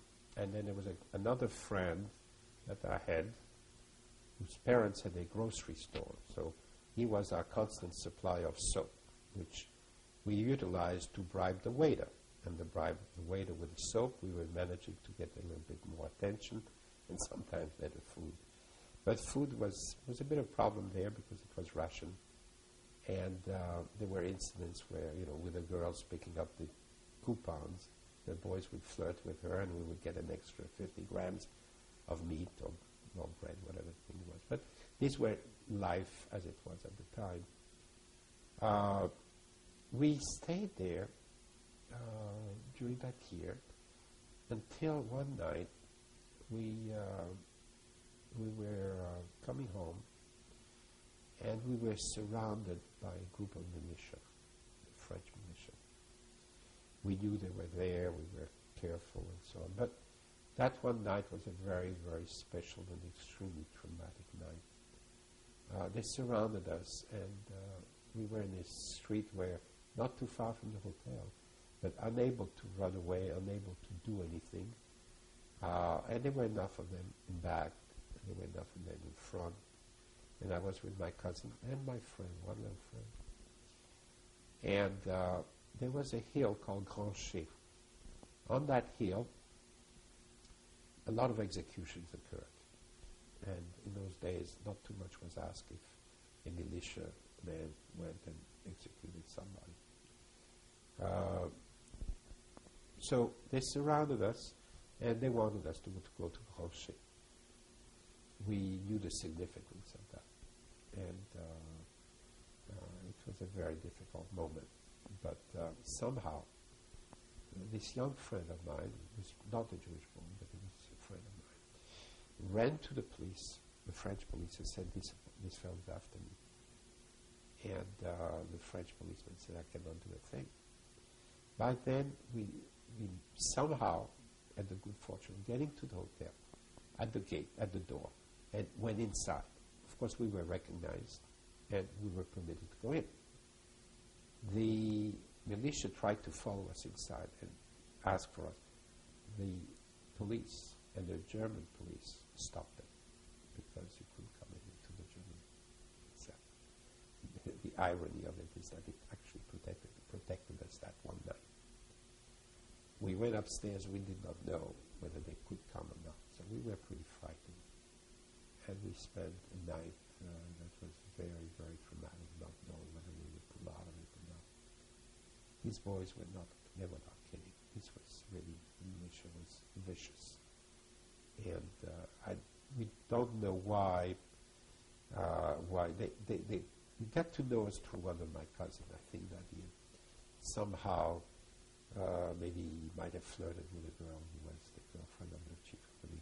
Uh, you know, we, we suspected this was a thing. And my cousin Marcel was a gentleman, always sending flowers, so he must have done something, and that attracted that attention. Anyway, we spent a horrible night, and uh, they had to leave because they, they wouldn't let them, so figured they could always get it. That morning, without doing, saying anything, with just our shirt on our back, we walked out of the hotel and we disappeared. We managed to somehow get out of there, took a bus or something, and went back to Sardent, which was the town where our parents were, and where the, uh, the uh, farm was in. And that was the end of us in, in Guéret until later on. But anyway, that's what happened in that stage of uh, our experience in Guéret. After that, we start to blend in the farm community. Became farmers, clothes, appearance, behavior. Did the farmers know you were Jewish? Yes. Yeah. Uh, I say that with a smile because 40 years later I walked into that village. They said, Oh, you were the Jews in our village. So they knew we were Jewish. They were, they were good people. Uh, so they, uh, we were in that farm town. The, the little Villepécourt, I'll speak more of that because it was a very small, maybe 15, 15 20 houses. That's about all. And uh, one where the Denis were very fine people, and they were the, there were no radios at the time. They were they were the family with the radio, which was very important because that's how we got news. That was our connection to the program of the BBC. Then there were other families uh, that lived there, and uh, we managed to uh, to have nice neighbors on that side, the Crillon and uh, and all the families that lived there. And uh, we managed to start learning farming. And uh, things were happening everywhere, but we at least were in that village. Meanwhile, back in Sardent, which was right in that, uh, that hotel, my uncle was a physician. And that's when they started asking people, French, non-Jews, to go to Germany to work. Now we talk talking 1943. And uh, people had to go. In that town, there were a few people that we knew that were brothers or friends of ours who refused to go. And they went in hiding in the woods. And my uncle used to take care of them from the medical point of view. And we did not know to what extent at the time, but he was quite involved with the underground because the area where we were became more and more underground oriented. There was a lot of woods, a lot of mountains, a lot of things. So we were really, it was the opportune area for them to hide. And from there was a lot of activities, the railroads, roadways, uh, ammunition dumps. There was enough activities. Uh, that central part of France was very active in the underground so was the mountains area near Switzerland, near Switzerland, the mountains area. And there were other areas, but that part of France was very heavily involved. So we, uh, we knew the woods, and we, uh, the kids knew the woods. And our position was sometimes if something happened, to warn the people not to come down. The German came or something. So life went on for a while, and we developed our farming. We lived in that little town of Sardent where other refugees were living. And uh, things we managed to survive. Uh, of course, things were happening all around. We were aware. By then, we had the radio communication. And we were aware of the severity of the events. We were, of course, aware that America gotten into the war when they did into the war we were also following the news for the uh, Russian front. Now, what I failed to tell you is that when we lived in that hotel in Guéret, we had seen soldiers being transferred to the Russian front and crying, literally crying. Uh, they were young guys, you know, that was one of the worst things you could do was to go to the Russian front. To go back to the farmhouse, that's where we were following the events of the Russian front. Is that what you meant by severity of events? I, am not yes. The, the, uh, they started to have deportation from the southern part of France. Uh, in the camp where I mentioned my uncles and aunts were in the southern, what was once the free zone, they came and they picked at random certain people and they deported them. And that was the end of that. So it became uh, a little bit more uh, dangerous from that, not a little bit very dangerous from that standpoint. But at that time, we were still in the farm, and we, we survived there. Then, uh, all of a sudden, the German, we heard of a terrible event where the German went into the woods, found these seven young men that were hiding, and just mutilated them, absolutely mutilated them, incendiary and sort of things. And uh, I later on had the opportunity to discuss that with my uncle, who was a physician that went for recognition. And the people were the families, you know, the brothers of people in our town. So when the funeral occurred, when they recovered their bodies at the funeral, the Germans forbade anybody two people of each body to come for the funeral. Otherwise, they would be arrested. And they came with a garrison, I mean, a large number of Germans with trucks, really, to guard that. Uh, I have a crazy cousin who, you know, at night managed to sneak out and get a bouquet of flowers with an inscription the monument for the dead in the center of town. How he did it, I don't know, but he managed. Of course, the Germans were very angered. They were, they, you know, they, they were prepared to arrest anybody. The funeral went by, everything went quietly, and uh, then things, event quieted down. As time went on, the underground became more active, and I'm talking now closer, closer to 1944, uh, before the, of course, the invasion. We had a lot of people that lived in the woods. Our farm would feed them. Would, my aunts would work, feed and send some food. And uh, we would have some parachuting going on. And uh, at one point, uh, we would have, you know, ammunition in our barn, and it was distributed. When the uh, when the landing occurred, we were still in that farm. Parachuting uh, did increase in Mm. number. Who's parachuting? The, the American or the British parachuted for the underground. For the underground, there were ammunitions, there were arms, and uh, and being in that uh, area, we were the receptacle of this material, and we were hiding in the haystack, under the haystack. They would come and take what, what they needed. Uh, that went on for a little while. Uh,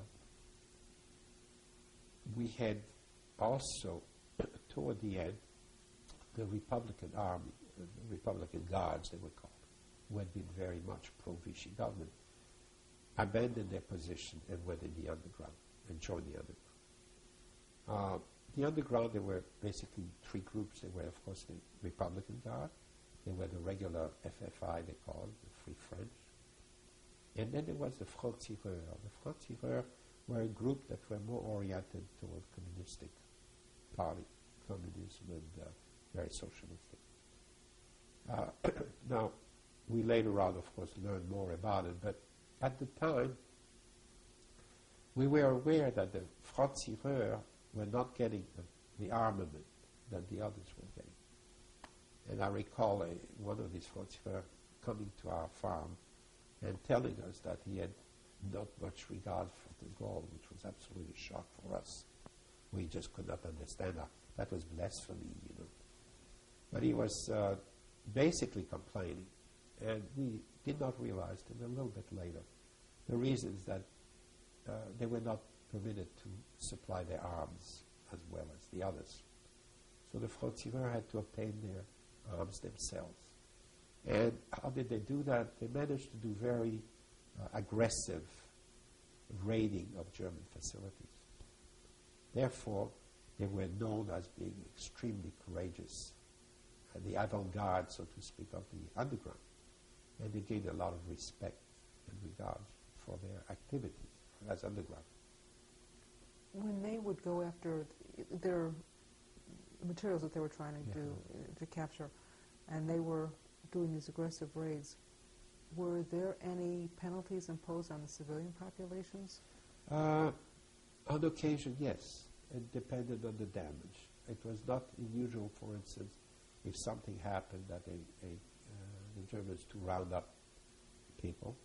Uh, usually, it was it was uh, you know they were uh, executed for many occasions, uh, for one loss, there would be 50 executed. That was about the proportions. Or they would come, there would be a big arrest, and they would be sent out. Uh, sent out to Kent, that is, uh, shipped out to probably Drancy and then back to the German uh, concentration camps. Uh, some people got caught with that, of course.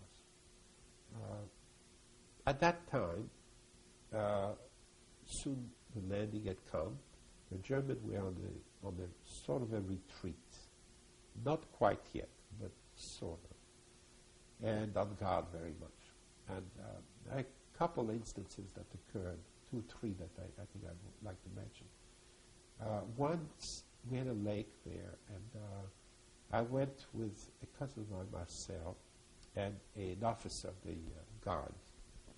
And we went for a swim to the guard. Going there, you had to cross a main highway. We went there, I had my bicycle, and uh, coming back home, they were going to go through the woods, but I had the, the bicycle, so I would go going to regular uh, country road. And the roads are very mountainous and very curvy. And I was on my bike, and I completely uh, forgot, or I, I took all the bathing suit in my bike because I had the bike, and a bag, and in the bag I had all the bathing suits that we all use. The trouble is that all the bathing suits were manufactured out of parachute material. And, uh, you know, when you're young, you do stupid things. And we were not we were just, we didn't realize it. Anyway, as I got on my bicycle on the road with a bag, covered bag, it's true, but inside I knew what I had. All of a sudden comes a German column. Totally uh, machine guns, uh, armed division, you know, this kind of stuff, with soldiers with rifle in their hand, because they, as they drove to this area, they uh, very often encountered underground. So they were prepared for machine guns and so on. And my cousin and this officer had just had enough time to cross the road and to just hide because they just heard it. You couldn't hear because the way the curves on the road and look. They just had enough time to, to go down. And I was with my bike. And uh, I must tell you, that was one of the close call because in those days they were they were shooting. They were shooting anything in the path. One of our neighbors got shot like this on that same road. Uh, I, uh, my, my, my knees started shaking, and I, I, fortunately it was a heel. So I got off the bike because I, I got scared. And I did not know what would happen, and I knew what I had. Not only that, I was very much afraid that my cousin we are across the street with the officer. So they could be involved as well. So I got off the bike and made believe that it was a heel, and you know, I had to go by foot. I went by foot. I couldn't ride a bicycle.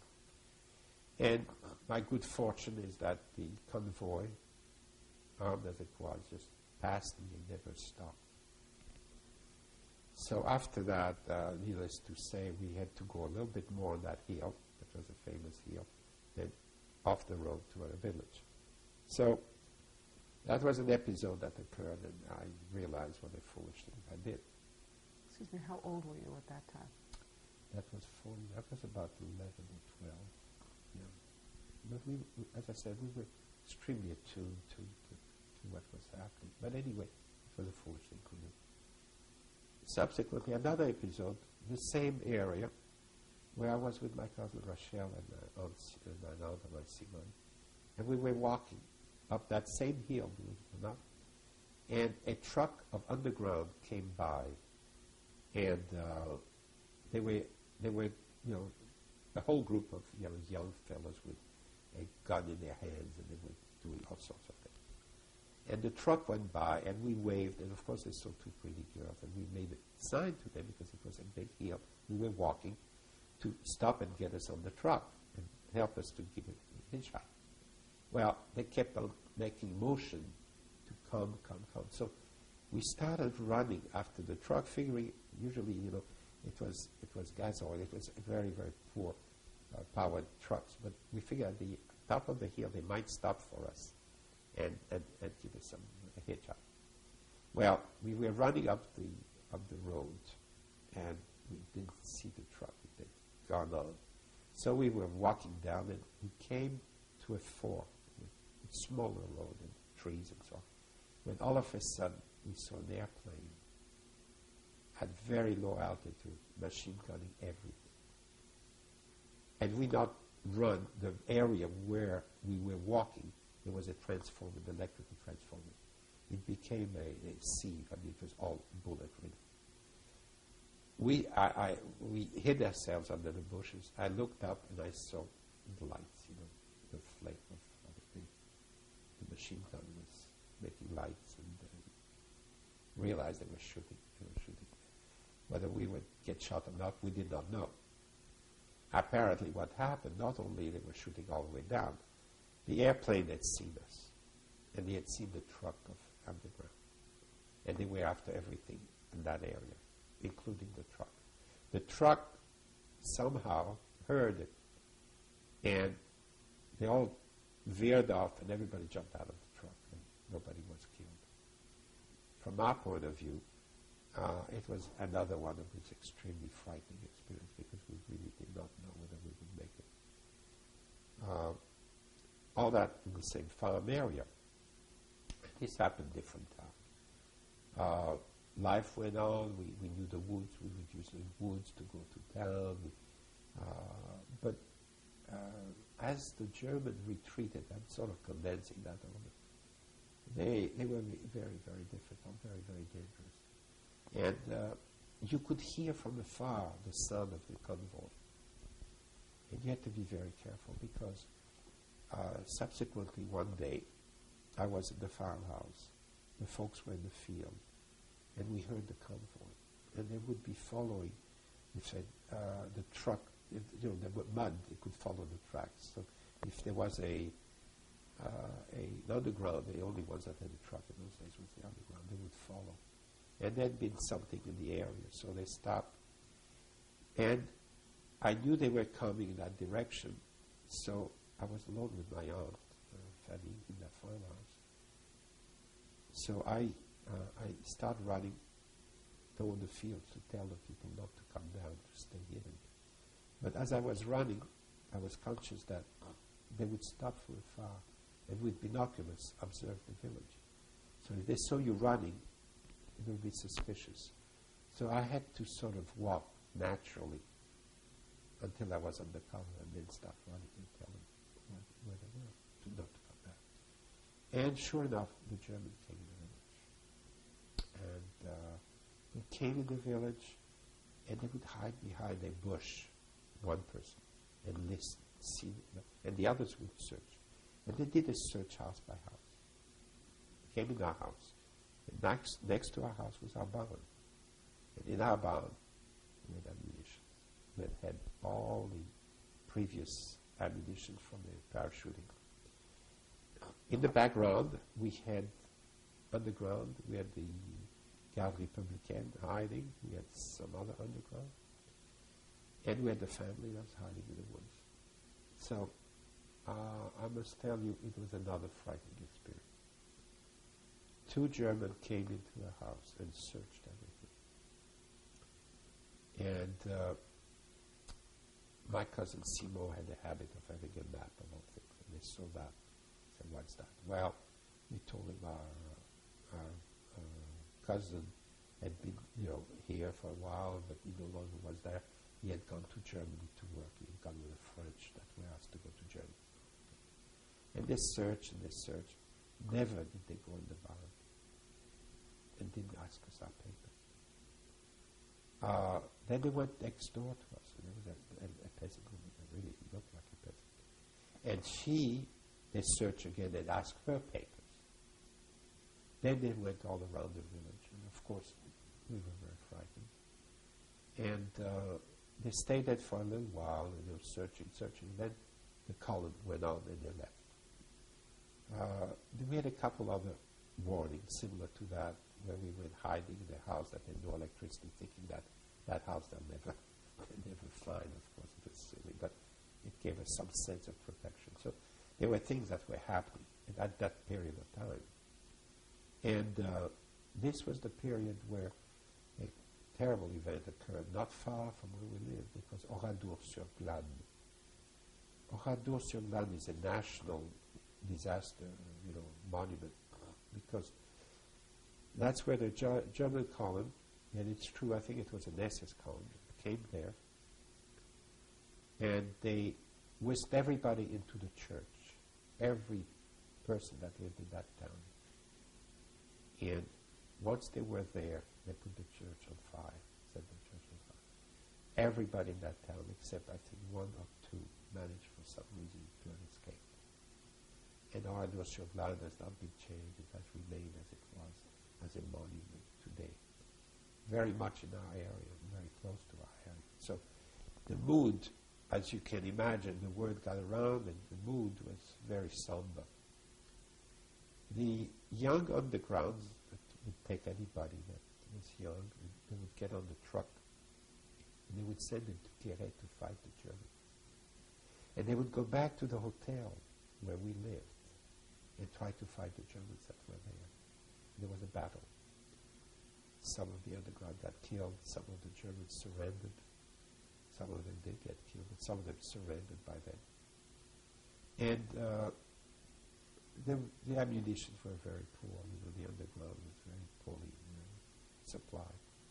But by then the Germans were on the run, and uh, if they were on the column and somebody was on the on the road, there was a lot of people killed that way because you know they did not hesitate to shoot.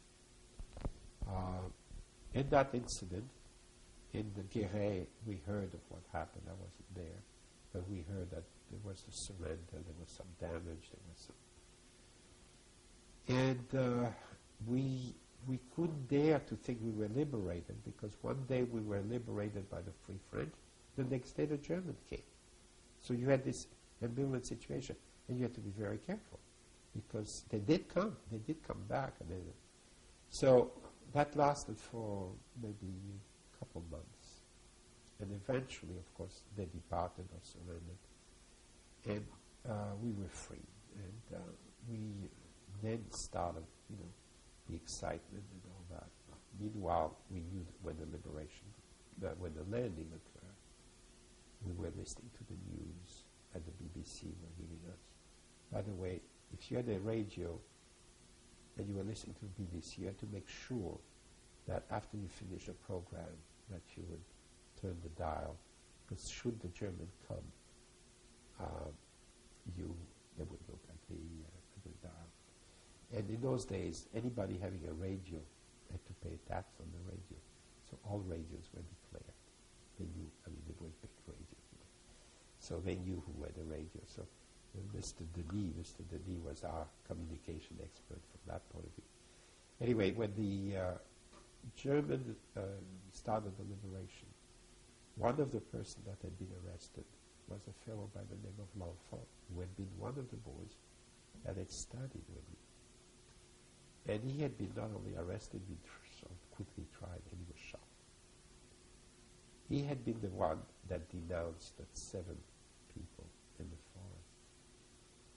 And that, of course, perished, the incident. The underground knew it. First moment, the first chance they had, they, they arrested him, and it was a quick, sort of purge trial. And he was shot. And uh, then started the, the purge, you know, women that had their head shaved, slept with Germans. There were a lot of activities in that sense. We're going to pause to change tape.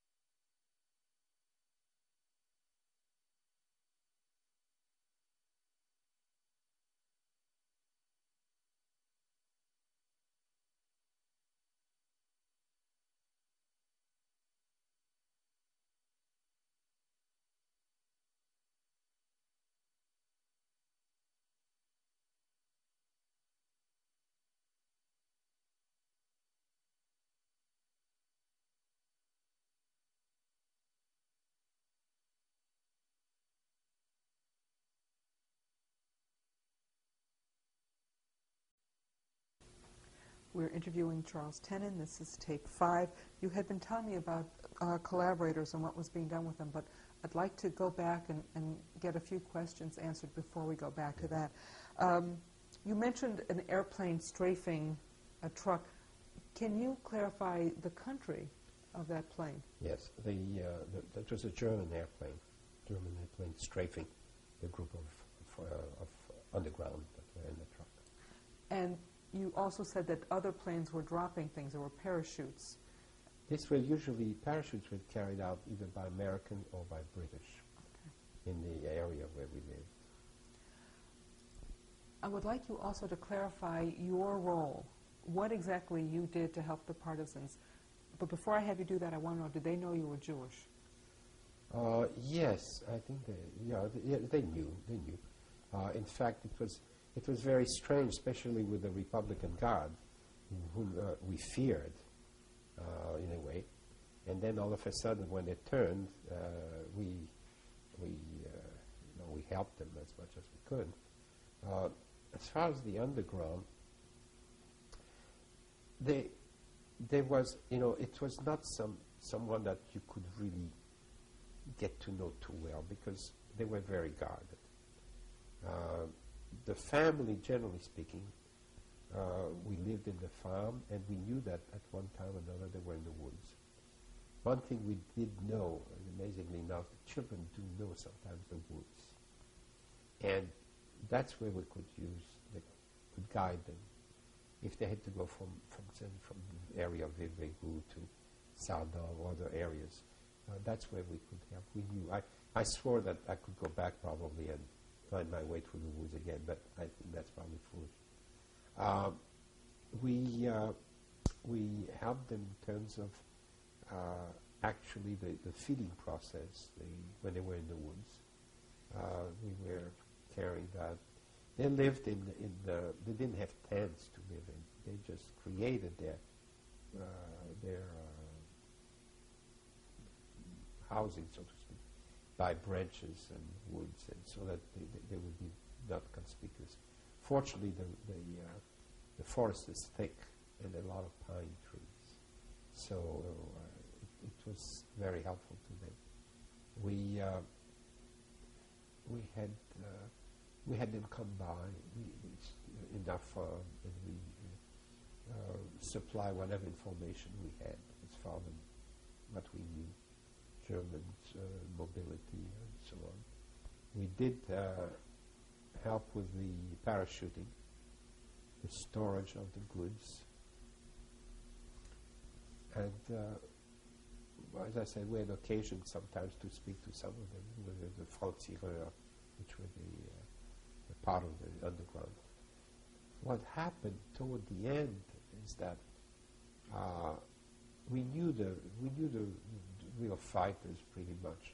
But then it became a, there was a tendency among the, uh, some of the FFI, which is the Free French, to uh, assume rank. And we used to kid them because all of a sudden there was a lot of grades. In other words, there were a lot of officers. All they had to do is to put a few stripes and you know, somehow manage to, to become officers of various ranks. Uh, I think that's the minority, but it became a problem for, for, for some of us who knew who really some of the fighters had been. Uh, there was uh, uh a lot of people that came up front and declared themselves for the French, Free French, uh, late. Some of them had uh, not participated too much before. Some of the people that were the prefectures, the French prefectures, uh, had collaborated, but then they had uh, helped one or two families a lot, and therefore later on would come to you and ask you for an affidavit to show what you had been assisted by these people. Some of them uh, got by, some of them did not. Uh, there was a sort of a folly in terms of purging. Uh, we have to realize that our ambition at, at, that young age was to be among the first occupying forces in Germany. That was what our ambition. We had lost some dear people, family and friends. And we were very angry. We were young, a little bit fearless, and uh, anything we could have done to uh, to go and fight, we would have done. I was a little too young, unfortunately. My cousin, one of my cousins, was recruited in the underground because he was of age. And speaking Russian, he became an interpreter for them, for the underground, because we found out that among the German soldiers, there had been a lot of Ukrainians that had joined the forces. Some of them didn't speak German, some of them didn't speak French. So uh, Simon became the interpreter and uh, stayed with the underground for a period of time. Uh, the rest was more of a family activity, really, uh, in, in, in that village. And uh, a lot of a lot of things, little things happened during two three years. You can imagine, but the main incidents were uh, were more evident as time went on because the underground became more visible. Before that, it was you know you remember it was very hard to tell who was what. Uh, some of them were among us, you know, and we just they did not come up and uh, and uh, show up as underground. Their activities were much more insidious, but uh, it was area of very very great activity.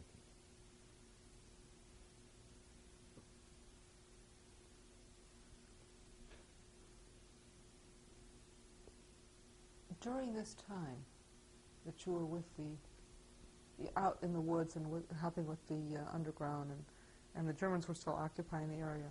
How much did you know about what was happening to Jews elsewhere in Europe? I think that by then we, we were very much aware. By then we were very much aware of what was going on. I think that uh, starting for, I would say probably 43, beginning 44, 43, uh, we used to get the news from the BBC. I forgot exactly the time element, but we start getting some ideas what was going on. And the, the activities that were happening in the Buchenwald and Auschwitz uh, were known to the Allies, I think. And uh, so the BBC was a source of uh, information. Uh, I had, uh, one of our relatives was in the camp of Drancy. And he, his head was shaved five times to be deported. And somehow uh, he had been early arrests. So, you know, he worked in one of the offices, and they didn't let him go because he was such a good, like an accountant, or, you know, not an accountant, but keeping records. And, and the amazing thing is that the, uh, the amount of information that remained recorded, as you know, a book was published in France with all the deportees, the date of the deportation, and uh, and what camp they went to and their background. In fact, we have now found the name of our aunt. And with her was a friend of ours who lives in Washington, her mother. And uh, we eventually compared the notes and found out that the both had been deported at the same date. Now, this uncle somehow uh, remained in Drancy and was liberated in Drancy. In bad shape, at least survived the, the, that part of the war. Were you aware during the war of any efforts um, in France to save Jewish children? Yes. I think that we, we realized that there was some activity. Uh, we did not know all of it as much as we learned later on. But we knew that there was attempts to, uh, to save children. We had a lot of uh, we have a lot of friends, for instance, that brought their children to be hidden. Uh, comes to to mind the, the story of a friend of mine who, uh, this woman, uh, who had three children, uh, the boy uh, the, and two daughters. And the youngest daughter must have been like two years old, one year old. And so they, they brought this child to a, to a family, a Catholic family, and they sort of adopted the and were very good to the child. But then when the war was over, they didn't want to give up the child. And they had a great deal of difficulty regaining that. Uh, the other thing is we could not go back to Paris that quickly after the liberation. Uh, There was there was a period. It was not. I cannot say it was static, but there was it was the German coming, the underground going and coming. It was very uncertain and very dangerous because uh, We knew that the, the American army was around. We knew all that, but we were still under the occupation. So you had to be very, very careful. Uh, eventually, as uh, the events went and the Germans were either surrendered or left the area, uh, we the joy is unbelievable, and uh, we uh, wanted to go back to Paris as soon as possible. You mentioned you had to be careful because sometimes you, you would think that you were free, but then the Germans would come back. That's true. When did you realize that you were finally, truly free? Can you put a date to I that? think that that came that came uh, more toward the after Paris was liberated. There was a period of time, maybe uh, that was in August, sometime the fighting in Paris. I think it was uh, probably a few months, four months, three, four months after the liberation of Paris, that they finally cleared our area. Either they, they escaped, the German army, that is, whatever they could escape, or uh, surrendered. Uh, so that it took that period of time until we finally were able to, to really say we were free. Uh, and, uh, and of course, then, of course, the, you can imagine the the joy and the sadness. It was it was a mixed uh, mixed uh, emotion. And we had to sort of uh, we all wanted to go back to Paris. You couldn't go back to Paris that easily because there was no bridge left. You had to cross the Loire Valley, which was a major thing for railroads, and there was no no place to go in Paris. The apartments had been taken over by uh, other people, and uh, it was hard fight to get them back. But eventually, we, uh, we were able to sort of repatriate to Paris. When you got back there, how were you received by your former neighbors? Uh, it was a mixed thing. We, uh, the place where I live, we never, we never went back there. Eventually, we fought and got back. One thing I must tell you is that we, we uh, my, my cousin Mara, who lived with me, of course, was back. She then learned that the mother had been deported, and she went back to the uh, building uh, where we lived. She walked into the concierge uh, lodge, they call it, where she lived, and uh, discovered that uh, uh, some of our rugs were there. And it became a very, very treacherous situation. At the time, early on, if you accused her and you showed a little bit of evidence, you could have actually had a shot. That's how, how drastic it was. Mara did not want to have that done. As far as I was concerned, I would have welcomed it because I was so very angry at the time. I felt that she had probably participated, if not in the denunciation, certainly the immediate profits, and never did anything to help. Because we, some of us, sometimes, we try to go back to the apartment, break the seal, get some documents, get something out, and then the concierge would cover for them and say, you know, nothing until much later on, and then uh, call the authorities to tell them. This concierge was not that kind. And some of my relatives had concierges were very kind and very helpful. So it was a sort of a, a bit of a uh, uh, reign of terror. The, uh, the, the, popularity of the Franc Tireur was enormous. That is why that uh, immediately afterward, the election was very much favoring the left. The first and the only time, probably, that the Communist Party got such a tremendous vote because of the residual effect and the, uh, the intolerance and the desire to purge. Unfortunately, all of that did not quite materialize. A lot of people survived. You said you had to fight to get your original home back. Could you explain Yes. that?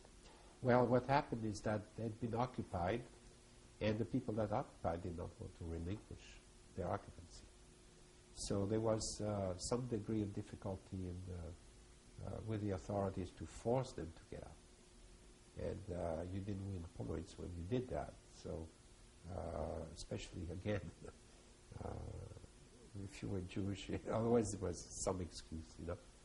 Uh, and uh, eventually we were able to get some of our apartments. It took a great deal of effort with authorities and so on. How had Paris changed? How, how would you find it? Paris was Oh, different. when we arrived, we were absolutely exhilarated to be back in Paris. It was a, a there was a uh, there was a moment uh, for me. I I, uh, I was very excited because I started seeing the American influence. I always wanted to come to the United States. I wanted first of all I, I want to meet my maternal family, and uh, it, it was it was a very exciting period. It was difficult because we still had the rations. We still had a lot of black market. We still had a lot of anger, a lot of scars. Uh, and uh, on the other hand, there was the joy of being able to, to be in Paris and to be free again. So it, uh, it was a, uh, it was a, in a way, it was a, still a difficult period. The adjustment, the, uh, the maturation, the, all of the events that have taken place. Uh, fortunately, uh, uh, then my main concern was to regain the normal life and go back to school. And so that the efforts were spent in that direction. And the greatest uh, desire I had was to be able to get on the boat and go to the United States for, uh, for a long period of time. When did you return to Paris? I came in 1940. I, I came, excuse me. I came in 1948 Back to Paris? after Paris. No, and when did you come back to Paris? to Paris, 1957. It took me nine years to go back to Paris. Oh, you mean uh, from the States? No, I beg No, your no, no, pardon. no. You're, running I beg ahead your of me. pardon. Yeah, I'm ahead of you. Uh, no, I, I, we went back to Paris in 19. I think it was uh, the uh, the, the uh, winter 45. Okay, so the war was already long over. The, the, the, well, the war, it, uh, it, well, it was a little bit before because the war was still going on. The, uh, uh, I was uh, uh, I was back in Paris when before the uh, the the cessation of all activities. And the reason I'm questioning is that because after that we were in France, we were in Paris when the because of the Japanese events were still going on we were in the in France in the in the north when the Japanese surrender occurred. I would say probably the end of '44. We were back to Paris. Did you have much of an opportunity to speak with camp survivors at the end of the war? Uh, we did quite a bit because we had we had a lot of people. Not many survived, but we had some that we knew of our acquaintances that came back. And we had some friends that eventually uh, we became very good friends that had also been in the camp. The question is when were they arrested and how much time were they there, how many of them uh, returned. And some of them had the, fortunate to return, but they had been there for a shorter period of time than others. Uh, well, it was, it, that was a very difficult period. What did they tell you? Well, some of the auras, I was, I was surprised that sometimes they were not willing to discuss too much of it. They, uh, uh, yes, the, the horror of living, the horror of death, uh, the, the, the, but uh, I don't think that there was too much dwelling on details. I, I imagine probably they were reticent to, to go over all the things. Uh, but there were all sorts of groups that were talking, all sorts of guests that had been in that reported. And there you would have a much more, you know, definitive uh, des- description of what had happened. Was there more anti-Semitism, less anti-Semitism, about the same after the war Uh, as before the war? Well, I don't know whether there's more. There, there was some anti-Semitism. I'll relay one quick thing, if I may. Uh, I knew I wanted to go to the States. So I was at an age I was beginning to be politically alert. So were my friends. And uh, I knew I wanted to come to the States. So I knew that my, my direction was clear, what I wanted to do. However, one of the very last nights, among, not too far before I left, I was walking down with a friend, two friends of mine.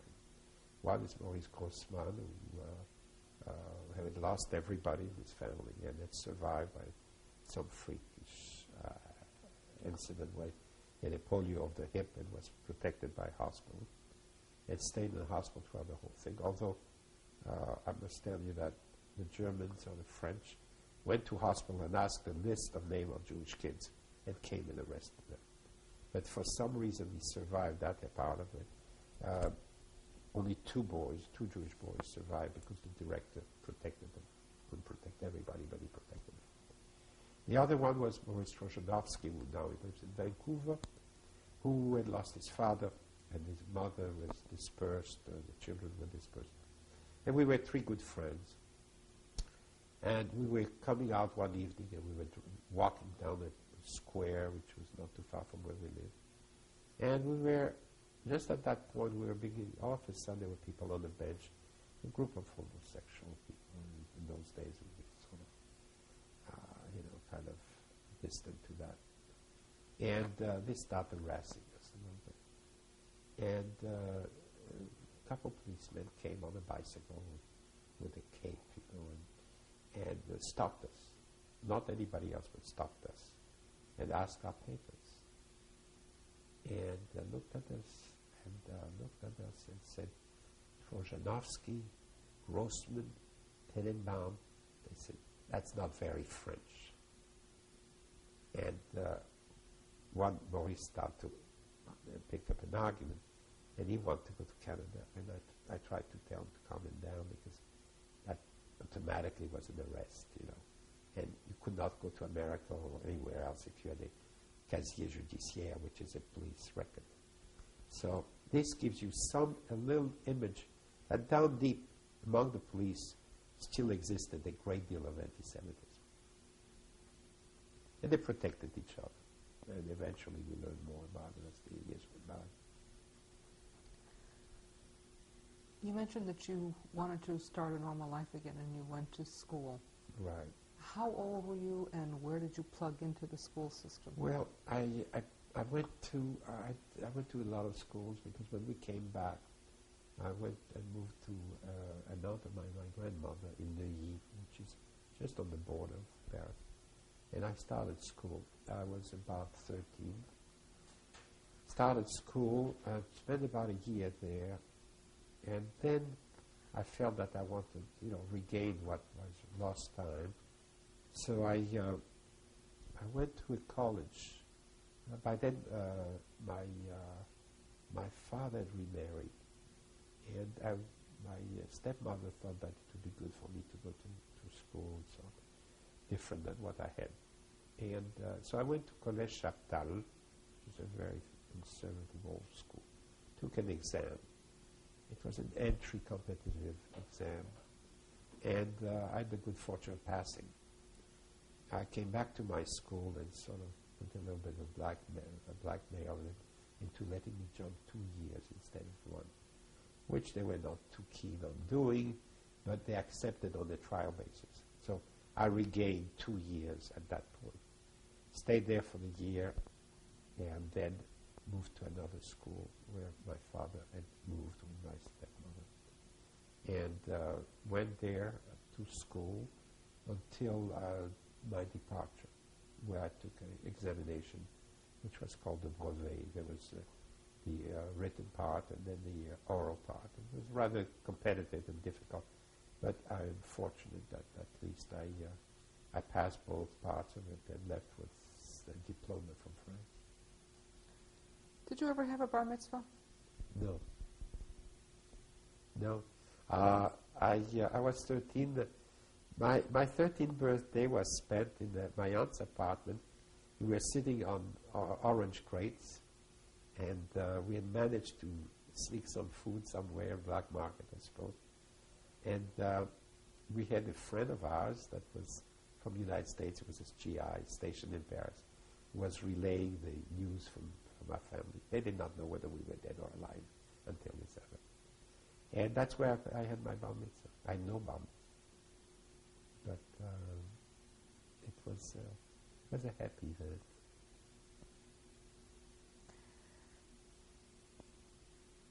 When did you leave France for the United States? I left. Uh, I uh, I got my papers in the summer of 1948, and uh, I was so gung ho that my father let me go by myself, and uh, I was about 16 and a half, and uh, we got tickets on the uh, Queen Mary, and that's when I went to the States. You were in France during the Nuremberg trials. Did you follow those? Oh yes, yes, we were following that very closely. I think at the time, uh, we were, you know, we were of a, of a group that we didn't think of justice required all this trial. of course, history does require all that, but we were so so distraught way that we had lost that uh, I must say that uh, I left with, with a complete feeling that I wanted to be among the first to go to Germany. And I don't know what I would have done, but that was the spirit in which we were growing. Uh, unfortunately, we did follow the trial. We felt that they were, they were fascinating because we learned some facts. That we felt that imprisonment was the wrong, you know. Yet, you know, of course, uh, has spent his whole life in prison, but uh, we, we, we followed it very closely, no question about it. What was the sense that you got in France about the trials? Did, was a general consensus that justice was done? I think I think that uh, yeah I think that in a sense uh, there was a feeling there was a feeling of uh, well I don't know if satisfaction is the word but they had to explain things. I think that there is a lot. It was easier to explain what happened in Nuremberg than what happened to Vichy. So, uh, if it attracted the focus to a foreign place, it was better than staying with a French. There was a lot to explain in French, and I think that uh, a lot of it was kept very, very quiet. You couldn't purge everything. The newspapers, the writers, the uh, commentators some of them really got hit hard, but a lot of the common uh, collaborators just slid by. Must say also that we wouldn't be here if it weren't for the goodness of many French that did help. I think it's wrong to say that everybody was a collaborator. There were a lot of people that were very courageous, very willing to take us out. They knew we were Jews. In those days, if they found out, if a German group came, you have to put in perspective that the village burned, not one person, the village burned. So to, to blanketly think that they were not uh, supportive is wrong. There was a lot of good things that went on. Unfortunately, it was also tinted by the collaborators, some of them more potent, potent than others and more vicious than others. And some of them were a little bit of both. Uh, and then you've got to think also the economics of it. There was a lot of money being made that is another aspect of it. People could collaborate economically without emotionally or being totally pro-German. So there was a lot of uh, nuances in this, uh, in this uh, uh picture that uh, existed. We're going to pause to change tape.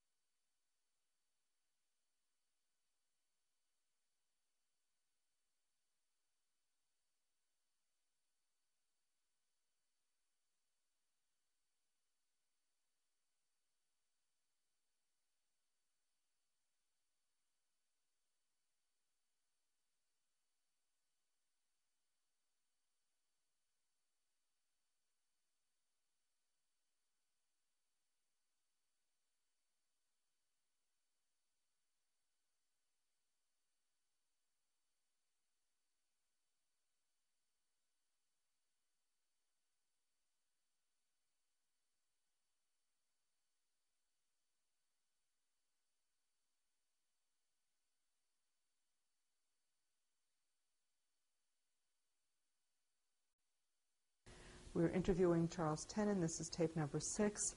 Uh, you were also still in France during the UN debates on the partition of Palestine. Um, did you follow that? Oh, yes. We were very much uh, involved with uh, following the news. Uh, we had friends of ours uh, that, again, that I, I, go back to the Trojanovsky family because they were sort of a, a, composite of what happened to a Jewish family. The daughter falsified her age to go to Israel, to, to Israel, to Palestine, to fight. And she remained there until after the May event of uh, Israel creation. We were very much following the events. Uh, we were not necessarily Zionist, but we had. Uh, I wasn't a Zionist because I knew I wanted to come to America because of my family ties. But I, we all felt the importance that the Jewish people had to regain the dignity, which had been robbed from them. Uh, especially all those from the Eastern European, they had nowhere to go. Uh, the French, by habit, used to open the doors to, to, to foreign, but that was after World War One. You got the decimation, decimation of, of population. At this point, after World War II, they did open their door, and a lot of refugees came to France. But it could not absorb everything, of course. And a lot of people want to go to Israel. So we followed the events. We followed very unhappy with the British. I would say that's a mild way to put it. Uh, extremely angry. And uh, I recall Palestinian, uh, Jewish, man came and told us that if the British left us alone, we could get along, we could manage with the Arabs. Well, it was not exactly prophetic, but it was interesting what the attitude was. At the time, probably it was eventually true, because we didn't have generation of cultivation of hatred. They were still living together. So I think there was an element of truth at the time. Uh, but we were very concerned about the, this. We were very angry because we felt, after all, a lot of ships departed from France, from France to go to Israel. Uh, friends of mine joined voluntary groups and became sort of pilots, you know, with the thought of going to Israel to fight. So there was, I was as I said, I was a little younger, but there was a lot of Jewish organizations that were beginning to, to really be formulated again, and uh, the young people really start to get interested in that. Uh, my own cousin, had, uh, Henri, like a brother, his two children ended up in Israel. I ended up in America, but he had, they ended up in Israel. So we had a very strong interest uh, in seeing Israel uh, not only uh, be created, but survive. It seems that none of you were interested in staying in France. Why? You know, after the war, I had such a bitter taste in my mouth. Uh, France was at a very low ebb. Uh, I didn't like certain things. I didn't like certain attitude. I had the feeling that in France I would always be treated as a Jew. Maybe it's not fair to say that, but I always felt that my identity would be always the son of a Russian immigrant. Uh, it would be difficult to break the ice. Caste system existed. Uh, I had a lot of ambitions, and I felt that this would be a deterrent. Uh, I may not be right because a lot of very successful men are Jewish today. I know that. But as looking at at that time, we had been so battered.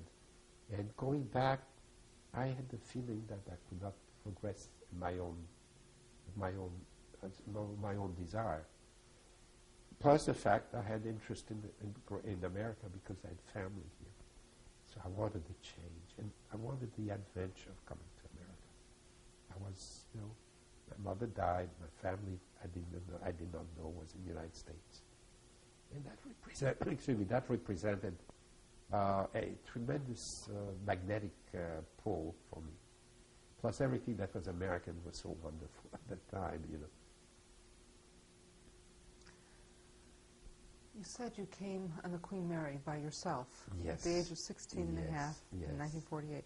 Yes. Did you speak English at that time? Not really, not really. It was a very strange experience. I must tell you that uh, that ship was the ship where the first Olympic Games uh, uh, had, uh, had uh, taken place in London. And on that ship were all the musicians, the artists, the athletes, not all of them, a lot of them, uh, that had participated on the, on the, on the, in the Olympic Games. And uh, there would be a, a- one of the anecdotes is that there would be a, a man that would be sitting down and, and speaking English, of course. Everybody would be laughing and all sorts, and I would would be watching, but I did not know what the heck it was. And uh, one of my friends on board said to me, "Oh, this is Mr. Jack Benny." Well, to me that meant absolutely nothing. It took years for me to realize who he was, and I soon after learned that to I appreciated it enormously. But when I became a citizen, five years later after my arrival, uh, they asked me to please name the person, one person if I could, the people that had been on board ship when me on arrival. Well, I had really forgotten some of the people as far as their name was concerned, but the only one I remembered was, was Jack Benny, and that's the name I put on my uh, application. What were your first impressions of the United States?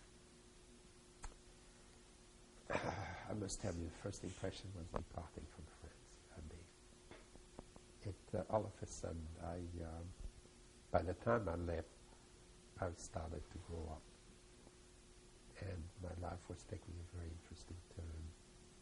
And that was a very interesting turn because my friends, my acquaintances, uh, I uh, I participated more in uh, certain. We had clubs uh, cinematographic clubs. It was very interesting at the time.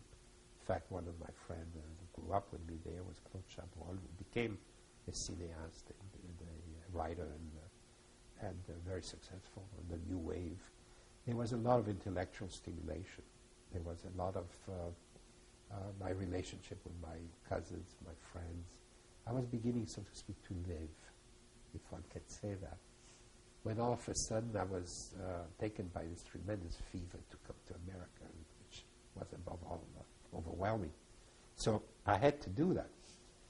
And when I took the train, uh, somewhere I've lost the photograph, my whole family came to the railway station to bid me farewell. It was a very moving period, very difficult period. I left by train and went to Cherbourg and uh, arrived in Cherbourg by myself. And we went on a small boat, and in the distance was the Queen Mary, all lit up, magnificent, Grand Dame of the sea, beautiful ship.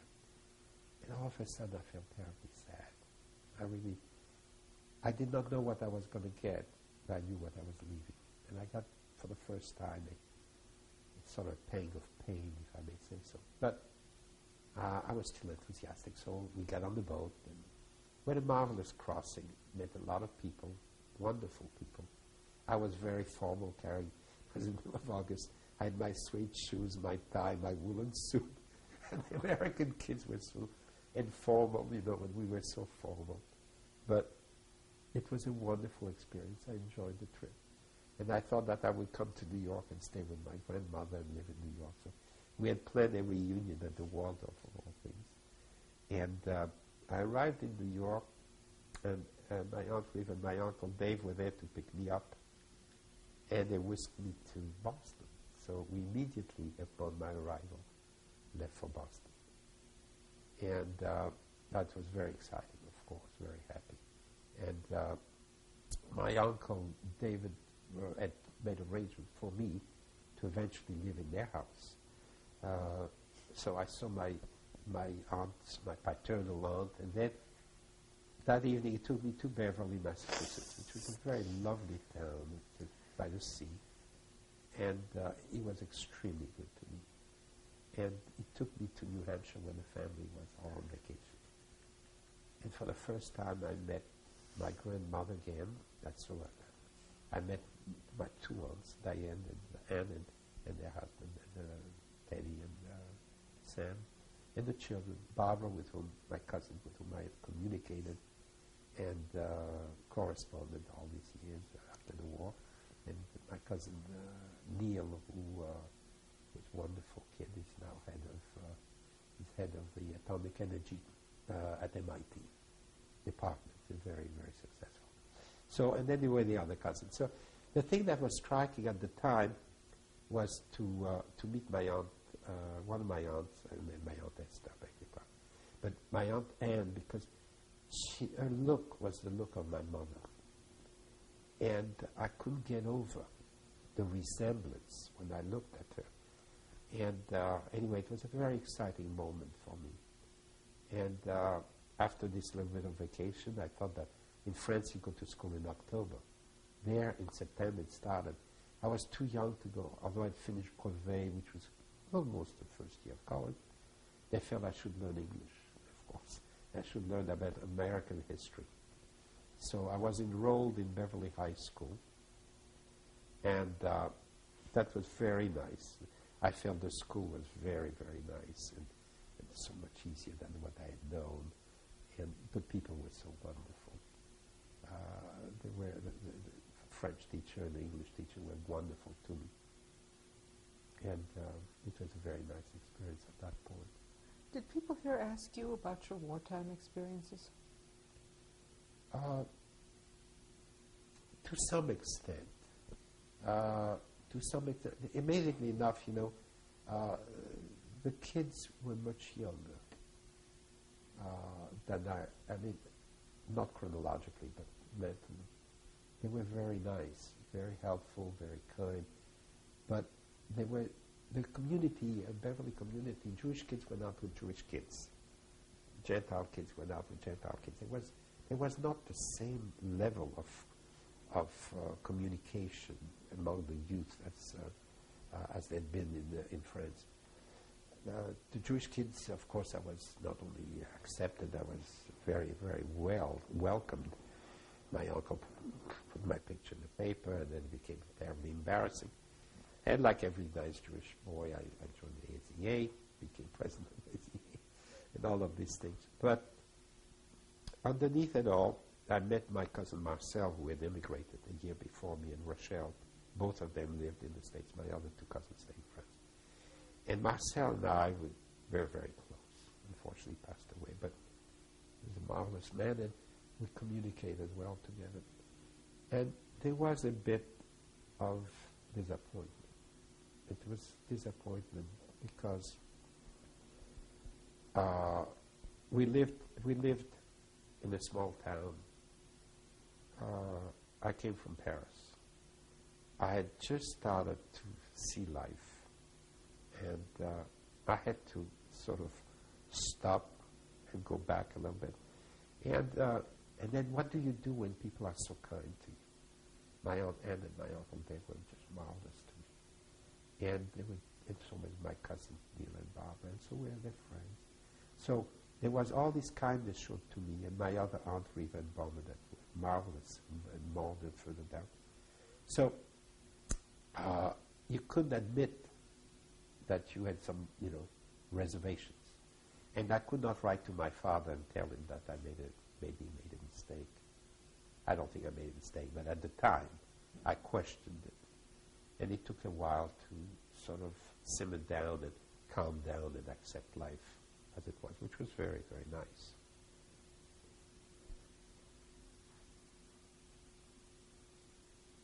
Tell me, please, about the additional education you were able to get in this country. Well, I was in Beverly High School for a year, and they, due to age, they wanted me to, to stay a little longer.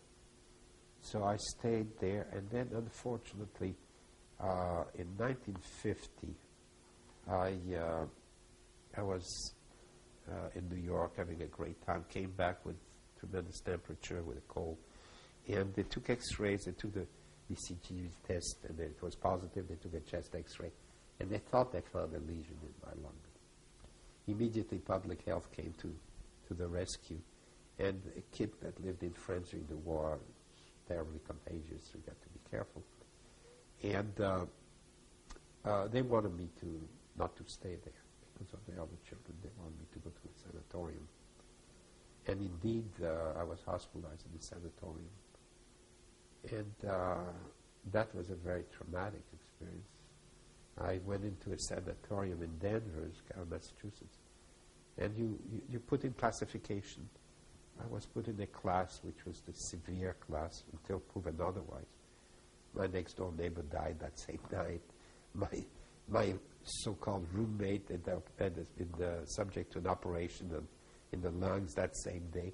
And I felt, I felt pretty good by the time, between the time of my cold and the time of admission, I felt fit as a fiddle. But I, it, I, I must say I was scared. And uh, so I, uh, I was admitted and I stayed, and I think I stayed in that room and followed the orders. Never was medicated, never was febrile, but I stayed there and uh, about three months. And during that three months, they did a what they call a gastric lavage, where they take a washing from the stomach and they incubate that in a guinea pig. It takes 45 days for that guinea pig to to either survive or die. If it survives, it's killed, uh, and he's tested to see whether positive uh, tuberculosis is found. Well, the joke around there is your guinea pig died. You know, the inpatient jokes were a little cruel at times. You know, there was a lot of veterans, a lot of very ethnically oriented. You know, different groups, uh, Italian, Irish, Polish. Uh, there were not too many Jews, but some Jews. And it was, it was a discovery for me because I wasn't quite accustomed to that segmentation. Although we would get along because we had to. Uh, but it was an interesting experience. A lot of them were much older than I was, the veterans and so on. Some were alcoholics, some were not. So it was a, a very, very awakening type of uh, experience. Three months after that, the guinea pig survived. It was negative. I never had any medicine, but I was young, so they started to get me into different classes. Uh, and uh, you went from class three to class seven, whatever it was. He lived in a big dormitory. And in that dormitory, every night there was a, a, uh, a, a, nurse coming to check us out, like in the military, at 11 o'clock to make a count who was in bed and who wasn't. And that went on for a while. Meanwhile, during the day, you, you read an awful lot you did photography, you did little things. Uh, my family support was excellent, was absolutely wonderful. Dave and Anne used to come and see me all the time after a long day's work. My parents came, my aunt and uncle Bob Reeve, everybody, my cousin. As far as the friends, you had a party because tuberculosis, after all, is a contagious disease. So there was fear. And you knew that there was a distancing of your, your, your acquaintance, new friends. So there was a lot of uh, thinking, a lot of uh, adjusting.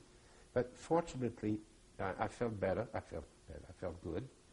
And they still want to keep me there because I was young. I'm going to start running around and so on. So one night, I uh, joined a couple old veterans that knew how to drink. And in that pajama and a robe, we got into a car and we went to a local bar. And even know why they let us come in with our robes in the bar. I suppose they were more interested in our consumption, in the sense of drinking rather consumption of disease. But anyway, uh, we, uh, we, we proceeded by, it's the only time in my life I remember being so drunk, not knowing what happened. And we, uh, we stayed there, and we missed the 11 o'clock curfew. And they brought me, they dragged me back, and uh, the next day all hell broke loose. Big, big trouble. Uh, the veterans were in trouble because they could lose their, uh, their pension. And the, all the hospital had to do is to report them. They could be punished. As far as I was concerned, I could always be deported, you know, because I was still, you know, under this aegis. Uh, but they, they, they probably scared us more than anything else. They didn't want a repeat performance. And uh, there was a board that would review your hospitalization. And uh, in the next board meeting, it was elected that it was time for me to, to be discharged. So I was discharged. Were you able to attend college? No, that was the, that was the bad part. If you had tuberculosis, quote unquote, you you uh, cannot get life insurance. You cannot get any insurance. Uh, colleges. I I was supposed to go to Columbia before this happened. I'd gone already to Columbia for interviews, and my father still lived in New York, so I thought I would go to Columbia, and I was assured that I was accepted. But with this happening, uh, uh, I, I, just uh, I went to, to Tufts, and I had an interview, and uh, the man told me that he didn't think I should start in September. I should wait till the second semester and I was so anxious to get started, I disagreed with it. And uh, his name I'll never forget, Mr. Curtis Grant, and he said to me, uh, "You're talking yourself out of a chance to go to Tufts." And I said, "Well, I am arguing because I believe I can follow the courses and I can do well." Well, he uh, sort of, I, I, think that he was tongue in cheek a little bit. And I, I, I got into discussion. And uh, anyway, I left the interview uh, and went back to to, to my house and, and was very upset. And I went back to, to the high school, spoke to the advisor, and told him. And he had a smile on his face because apparently Curtis Grant had already called him and tell him not to worry, but let him spend six months, see how he feels. Felt great, so I went to a school, a Huntington Prep, six months to cool my heels and learn English. And I started getting a job. And I was working, actually, I was working very hard in a bookstore, book company, not a store, packaging books in a personal bookshop in Boston, very well known. And came the winter session, I started Tufts. And uh, I went to Tufts for three years. Uh, by then, if you if you had good grades, you could apply to graduate school, namely uh, and by then I'd, uh, I had met my lovely wife, and we were good friends, and uh, I thought it would be nice for me to get accepted a little bit earlier, and regain some of this time. So I applied, and I was accepted at the University of Pennsylvania, and I started in 1954. Uh, Carrie uh, was my wife. By then we married in 1955. Uh, she finished a, a college from 54 to 55, and then we got married. She came to Philadelphia, so we stayed in Philadelphia for four years, and I got my degree.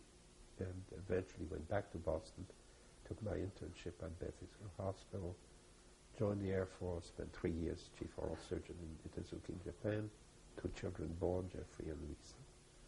And uh, came back to Boston, went to Boston, uh, Boston University Graduate School of Medicine for a year, uh, for oral surgery, and then uh, was lucky to be accepted to uh, Philadelphia General Hospital, where I spent an additional two years of King Chief residence. Very fine institution at the time for our training, and came to Bethesda in 1965 and started practicing. Your wife, was she also a survivor? No, my wife was from Boston. Uh, her father came from Europe. He was a surgeon in Boston. And uh, she, uh, it's interesting because all the, all the women married men men that were from Europe, you know. Three, four generations it lasted that way. But anyway, uh, no, she, uh, she was from the States. She, uh, she was a wonderful person, very sensitive, very, she, she was a writer. She was, started out in journalism and uh, she interviewed me as a foreign student, and that's how the the initial friendship developed. So uh, then she, when we got married, she, she worked at university for me uh, to help me to go through school, and then of course she was teaching, and she worked all the way through until I finished my uh, schooling, and supported me really throughout all these years. You also mentioned the military. Yes, I I had a I had the notion that if I'm going to live in this country, you know, in France they always accuse you of all sorts of things, and uh, I want to prove that you know when my time came, I would go to the military, I would serve, so nobody could ever say anything to me. And when I finished my internship, I volunteered. I must tell you that I had 4F. I was, I didn't have to serve because of my history. I had to convince them that um, that I was fit, and I did, and I joined the Air Force, and uh, joined for three years, and uh, it was especially pertinent because I received a, never forgot and never forgave the dean of the school at the NYU writing me a letter that I had no right to go into medical arts because of my medical history uh, of tuberculosis. Uh, yet subsequently, I had all my X-rays reviewed by a radiologist and other physicians to find out that what they had suspected was a known calcification of the lung, which is quite common. And this question recurred when I had my interview at uh, University of Pennsylvania, because the professor of pathology looked at that, and he said, my own son has calcification. And he was able to read through all this. Meanwhile, it had cost me a great deal. And it was, I think, a major error. When you were in the military, did you experience any anti-Semitism? No, because I think that the majority of doctors were Jewish. And we had, no, we, there was really, in our rank, in our group, there wasn't.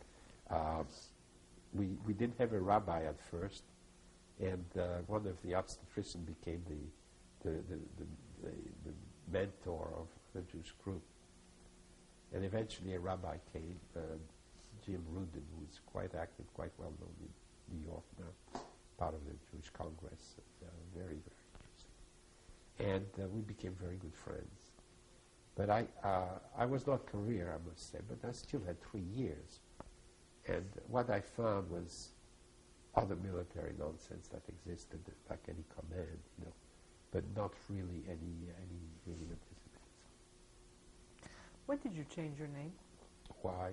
When? When? When I became a citizen. Which was when? In uh, 19, uh, it was uh, 40, 53 or 54. I think five years after my arrival, I think it was 1953. And, and why did you change your name? Well, I guess probably it was a remnant of old days where we wanted to simplify the name, I didn't quite do it, I anglicized it, but just shortened it. it's maybe my, my mixed emotion about doing it because I could have anglicized it completely, I suppose, but I just shortened it and uh, thought it would make it simpler. Did you experience any anti-Semitism in this country over the many years you're here?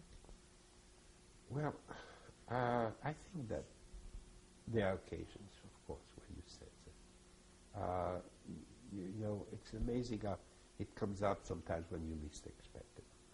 Uh, I think that there was some, in, when I was in the sanatorium, of course, I think there was a fair amount of anti-Semitism. There was some anti-Semitism uh, uh, one time or another, you know, when, when you in the workforce, uh, I've always had a job and I always worked even as a student. So there were incidents where I, I you, you did you did experience that. There's no question, uh, and it's done sometimes, a, as I said, in a very insidious way.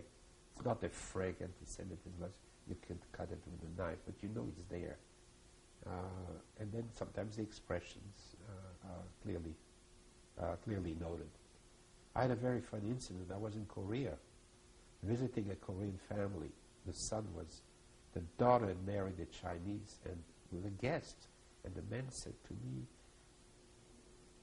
said, my daughter married a, Ch- a Chinese. It's terrible, but it could be worse. It could be a Jew. We have to pause to change tape.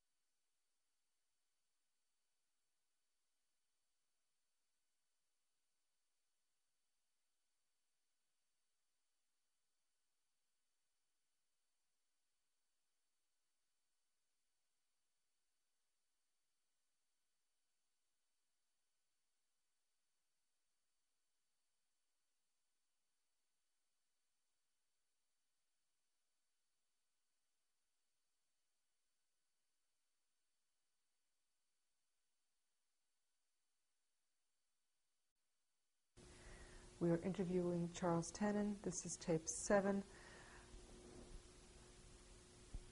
I wanted to ask what you have told your family, your children, about your wartime experiences.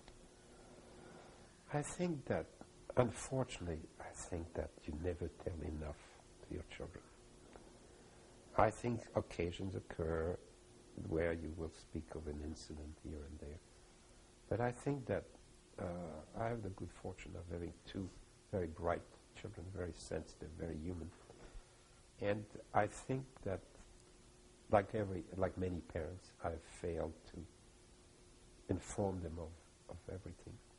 The good thing is that the, good, the pleasure that I have is that they, uh, thanks to our travel with, and, and visiting our family in France and so on, they at least got a, uh, a little taste of what our family represented, how we lived, how we survived, and they knew of who was gone and who wasn't. So th- that that was quite quite satisfactory. Unfortunately, there's a lot of incidents and a lot of experiences that I have not, I don't think I've completely related to my children. And I hope, in one way or the other, that I will have the opportunity to do it from them, and especially for my grandchildren, because they will be totally foreign to all that. My little granddaughter asked me to speak about Grandma, Grandma Carrie. Please tell a story. So I'm, good, so I'm going to, I will take and make a special album of pictures for her, which will help me to tell the story to her. She's interested. It's wonderful. You've been in this country through some pretty dramatic times. As a survivor yourself, how did you perceive the, the civil rights movement in this country? I was terribly in favor of the civil rights movement. I found that the the the, the, the, the handling of the black white colored condition was absolutely traumatic to me. Uh, I uh, must tell you, when I was in the service, I went to Montgomery, Alabama, and I, for the first time, saw a sign, white only. To me, that's absolutely shocking. I know I'd heard about it, but I was shocked by that. Uh, I had an office one time in uh, in Damascus. For the first time, I saw Ku Klux Klan. I was shocked. I mean, I wish, you know, shock is, is a mild word. Wish you could do something more. I had seen pictures of Ku Klux Klan in Paris as a youth, walking by the window and seeing pictures of it and being appalled. Uh, I think that uh, one of our very good friends while we were in uh, Japan was Ezra Davidson, who became the president of the American uh, Society of uh, GYN and OBGYN. A very good friend. And when we went to visit him as a resident in New York at Harlem, uh, they were, he was having difficulty getting an apartment. And I remember Carrie telling Jean, his wife at the time, and the children would be welcome to come and join us in Philadelphia while they found something. So I had no dis. I was, maybe you can call it colorblind. And I think that, sure, there are good elements, bad elements in every neighborhood. But I think that the civil rights movement was absolutely necessary. And uh, uh, hopefully uh, uh, was somewhat successful. Uh, I, I think that I was amazed that when Ezra would tell me of what he was learning, because he was fairly passive early on, but what was happening with the youth and the, uh, the speech, the indoctrination, the, you know, it became belligerent at that time. Of course, then came the civil rights movement.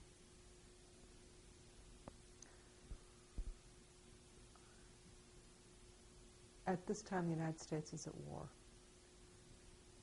What has been your reaction as, as a survivor of another war to what's going on now?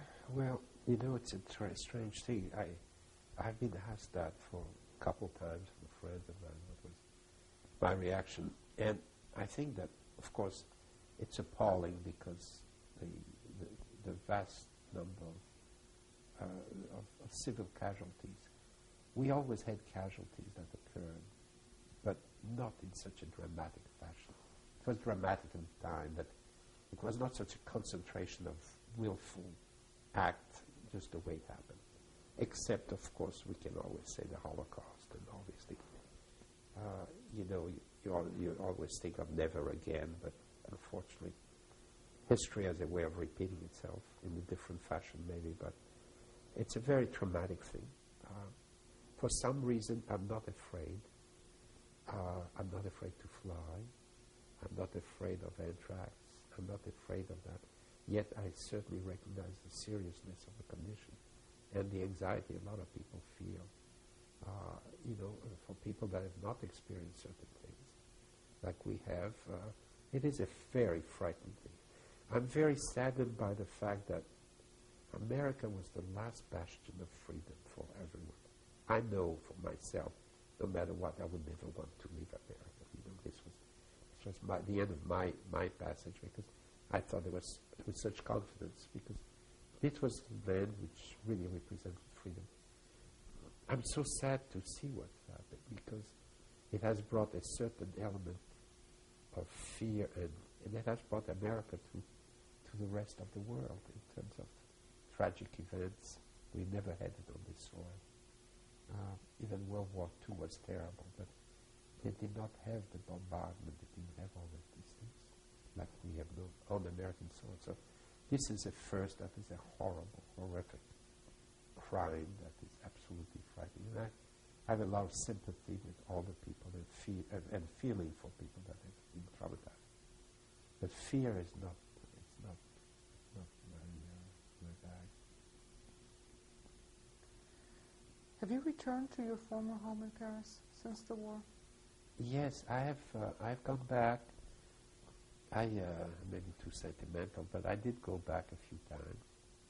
Uh, I was I was curious to see my reaction. The first time I went back, it took me nine years because I was a student. And I was uh, I was paying for my own education, so I could not go back at will. And America was very far. It was a big trip.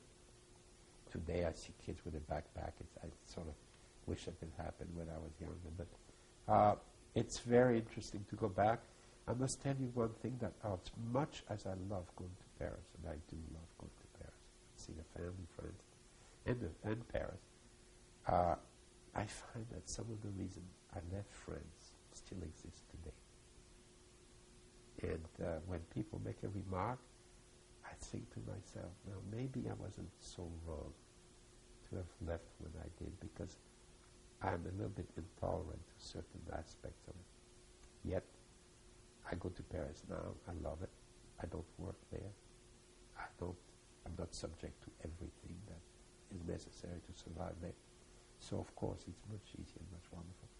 But I love a lot of aspects of French life that that amuses me, it uh, interests me. It's a, it's a. There's a lot of culture that I admire, and I do enjoy my return trip very much. Is there anything that you would like to add that we haven't discussed yet before we conclude? Well, uh, I just want to tell you that so many things have happened, and uh, it is hard to uh, to pinpoint a lot of details because it's a long time. When you're at war from 1939 to 1945 was a long time. Many things happened, many tragic things happened, very, very, many, many uh, fearful moments. But somehow, one thing, of course, I was younger and a little bit more fearless. I was, uh, I was very much aware of what was happening from the age of my, well, the time of my mother's death. I had pretty good recollection. And uh, I find that uh, I am, uh, I just hope that I can pass on to my children some of my experiences. Not, not to, to be pessimistic, but just so that they can be proud of their culture and their background. And I think that I've seen people change identity. I changed my name, but I didn't change my identity. I've never hid my background, and I never felt ashamed of my background. On the contrary, so I found that there's been a little bit of that since the war, and I want them to know that, and I want them to to be to be proud of what they are, because they are good people.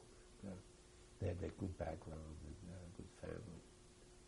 And uh, as I think back, I think there's a lot of things we repress and we don't think. We have a tendency to maybe look at the lighter part of of, uh, of war, and maybe it's it's a, it's a good mechanism so that we're not totally depressed by all of the events that have occurred. What message do you have for future viewers of this video? Well, I just, I really hope that uh, I've painted a little bit of a picture of what life was growing up during that era. I had the opportunity to come to the States as a youngster, which did not realize. Uh, but I never regretted staying and living through my experience in France with my family, with my friends, having survived, having experienced all these emotions. I think that it made my life much richer. And uh, not that the events are always good, but I hope that other people will uh, will uh, have the courage to meet all the challenges. All our challenges are different at different stages of life. And we, we did our share when time came, and I hope that all the new, new generation will have the same. Maybe I hope more than anything that they don't have to ever see what we have seen, and that they'll have a happy life. I consider mine being very happy with what I've achieved and received in the United States. I've received a lot of, I've been shown a lot of kindness. I think that one of the greatest things with that is to be able to pass it on to other people. And I hope that they continue that concept in the years to come. I want to thank you for speaking with us today. Well, thank you very much. I, I,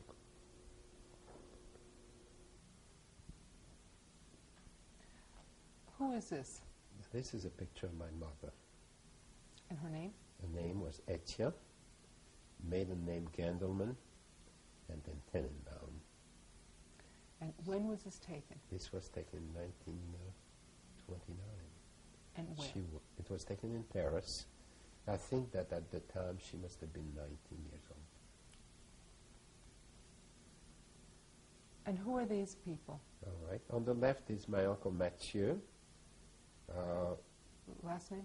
Tenenbaum, my mother Etia, and my father Isaac Tenenbaum. The third, the other party, I don't know. And when was this taken? I think it must have been taken in Paris around the same period, Which was? 1929. And who are these people? This is a family taken at a resort, I think, Cabourg in France. On the left is my aunt Riva, Last name? uh, Horak, and my grandmother, Her name? Don't remember? Okay. my father, His name? Isaac Last name? Tenenbaum, my aunt Anya Tenenbaum, she was the one deported, my mother, Etia Gandelman Tenenbaum. Below that, on the left, is Mara Krasnik, uh, Henri Tenenbaum, and Mara Castro, both cousins of mine, and my Henri is my cousin. And do you know when this was taken? That, that was taken in 1930. And where was it taken? I think it was in Cabourg, France. And who are these people? This represents my maternal family. Uh, from the bottom left is my mother, Etia? Tenenbaum, my grandmother and my grandfather Gandelman. They lived in New York at the time. My aunt uh, Anne Todris on the right. On top is David Todris, my uncle, Right or left? Top. the right side. Going back to the toward the left is my aunt Diana Gandelman at the time, and my aunt uh, my aunt Esther uh, Gandelman, uh, and then a superimposition of my father's picture. This picture must have been taken in 1931. It was taken in New York City when my mother visited her, her parents. She was pregnant at the time, but uh, my father did not come. And your father's full name? Isaac Tenenbaum. And can you tell me about this photo? Yes, this is my little family in Paris. That's my uncle Moise Tenenbaum, my aunt Anna Tenenbaum, who was deported, Mara, at the time, Mara Tenenbaum Castro, now, and Henri Tenenbaum, and myself, Charles Tenenbaum. And when was this taken? This was probably taken in 19, uh, 19, 1940 And where was it taken? in Paris. What are we looking at here? This is the visa, our, the visa that was given to us by the American Embassy uh, in 1940 to go to the United States.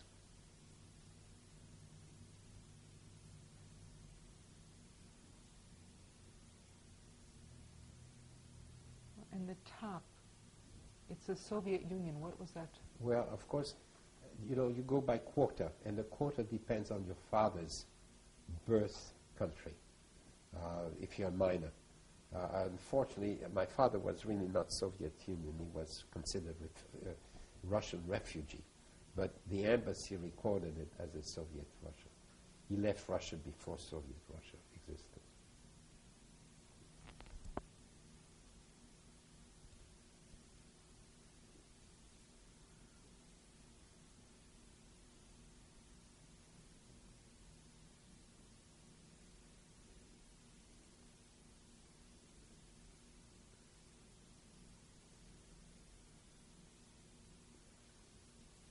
And what are we looking at here? This is a picture taken in, uh, in front of our farmhouse in Villevégou, that little farm we lived during the war. And you can see the, the two cows that were uh, pulling on the carriage. In the carriage on the left, uh, on, on the top, is uh, my aunt Cecile, Last name? Cecile Dorfman. Uh, next to her is my cousin Rachel Slate. Next to her on top is Simone, uh, her name is uh, Ni- Nivesny. Nivesny. Uh, standing up in front, the man on the right is my uncle Mathieu Last name? Tenenbaum. Uh, in front, in the middle, lower part, is my sister Genevieve, Genevieve Hirsch. And to her left is uh, my stepmother, Odette Tenenbaum. It was taken uh, in 19, uh, uh, in, in 1944, uh, during, during the war. And what is this? This is a sign that you frequently, always actually, saw in front of the concierge apartment on the lower part of the, of the building. And uh, it uh, asks the, uh, the renters to please tell their name after 10 o'clock at night. So as you entered the, uh, the apartment, you went through the courtyard, and in front of the concierge apartment, you yelled out your name. That was required at the time. And where did you find this? This I found later on in the- an old building where I now have an apartment, uh, and it dates back, the building dated back to 1625. I don't think the sign comes out that period.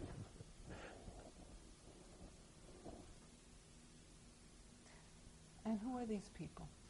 This is a picture of uh, Genevieve, my sister Genevieve Hirsch, my stepmother Odette Tenenbaum, and myself Charles Tenenbaum, taken in uh, 1946 in Paris, soon after my father and Odette were married.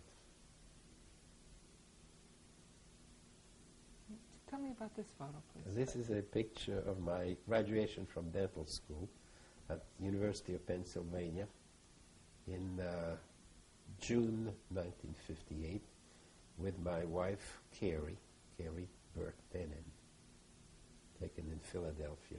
And your full name? My name is Charles Tenen. At this point, Charles Tenen DDS. and what year was this taken? 1958.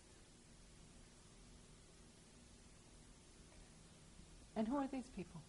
This is my lovely wife, Carrie Burr Tenen, with my wonderful daughter, Elise Tenen Aoki, taken in Los Angeles in uh, uh, 1992.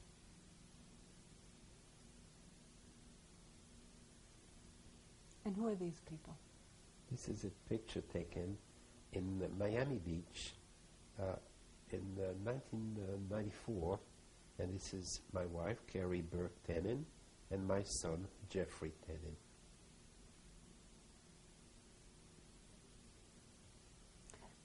Can you tell me about this picture, please? Yes, this is a picture taken at my daughter's wedding in Washington, D.C. in uh, August 19, uh, 1995. And um, on the left is, of course, myself, Charles Tenen, uh, my daughter, Elise Tenen Aoki at this point, my son-in-law, Ralph Aoki, uh, my wife, Carrie Burke Tenen, and my son Jeffrey Tenen. This was taken at the Mexican Cultural Center in Washington. And all the leis came from Hawaii, from Ralph's family that brought it with them. It's a beautiful wedding. And this young lady. This young, lovely lady is my little granddaughter. Her name is Carrie Aoki. She was named for my lovely wife, Carrie. And in the background is my son, Jeffrey Tenen. I think this was taken in 1999 in Los Angeles, California.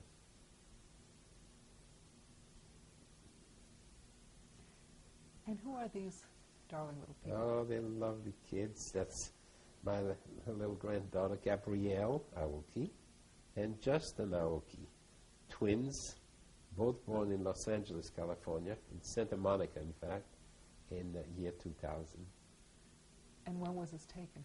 This was taken, uh, I think, probably about a year. They were b- about a year old, so I would say about 2001. And what are we looking at here?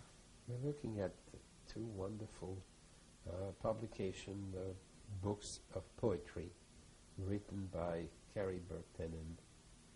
Uh, there was an ensemble of poetry that she had saved, and um, both of them are very touching poems. Um, and uh, it was all published uh, by uh, 1995.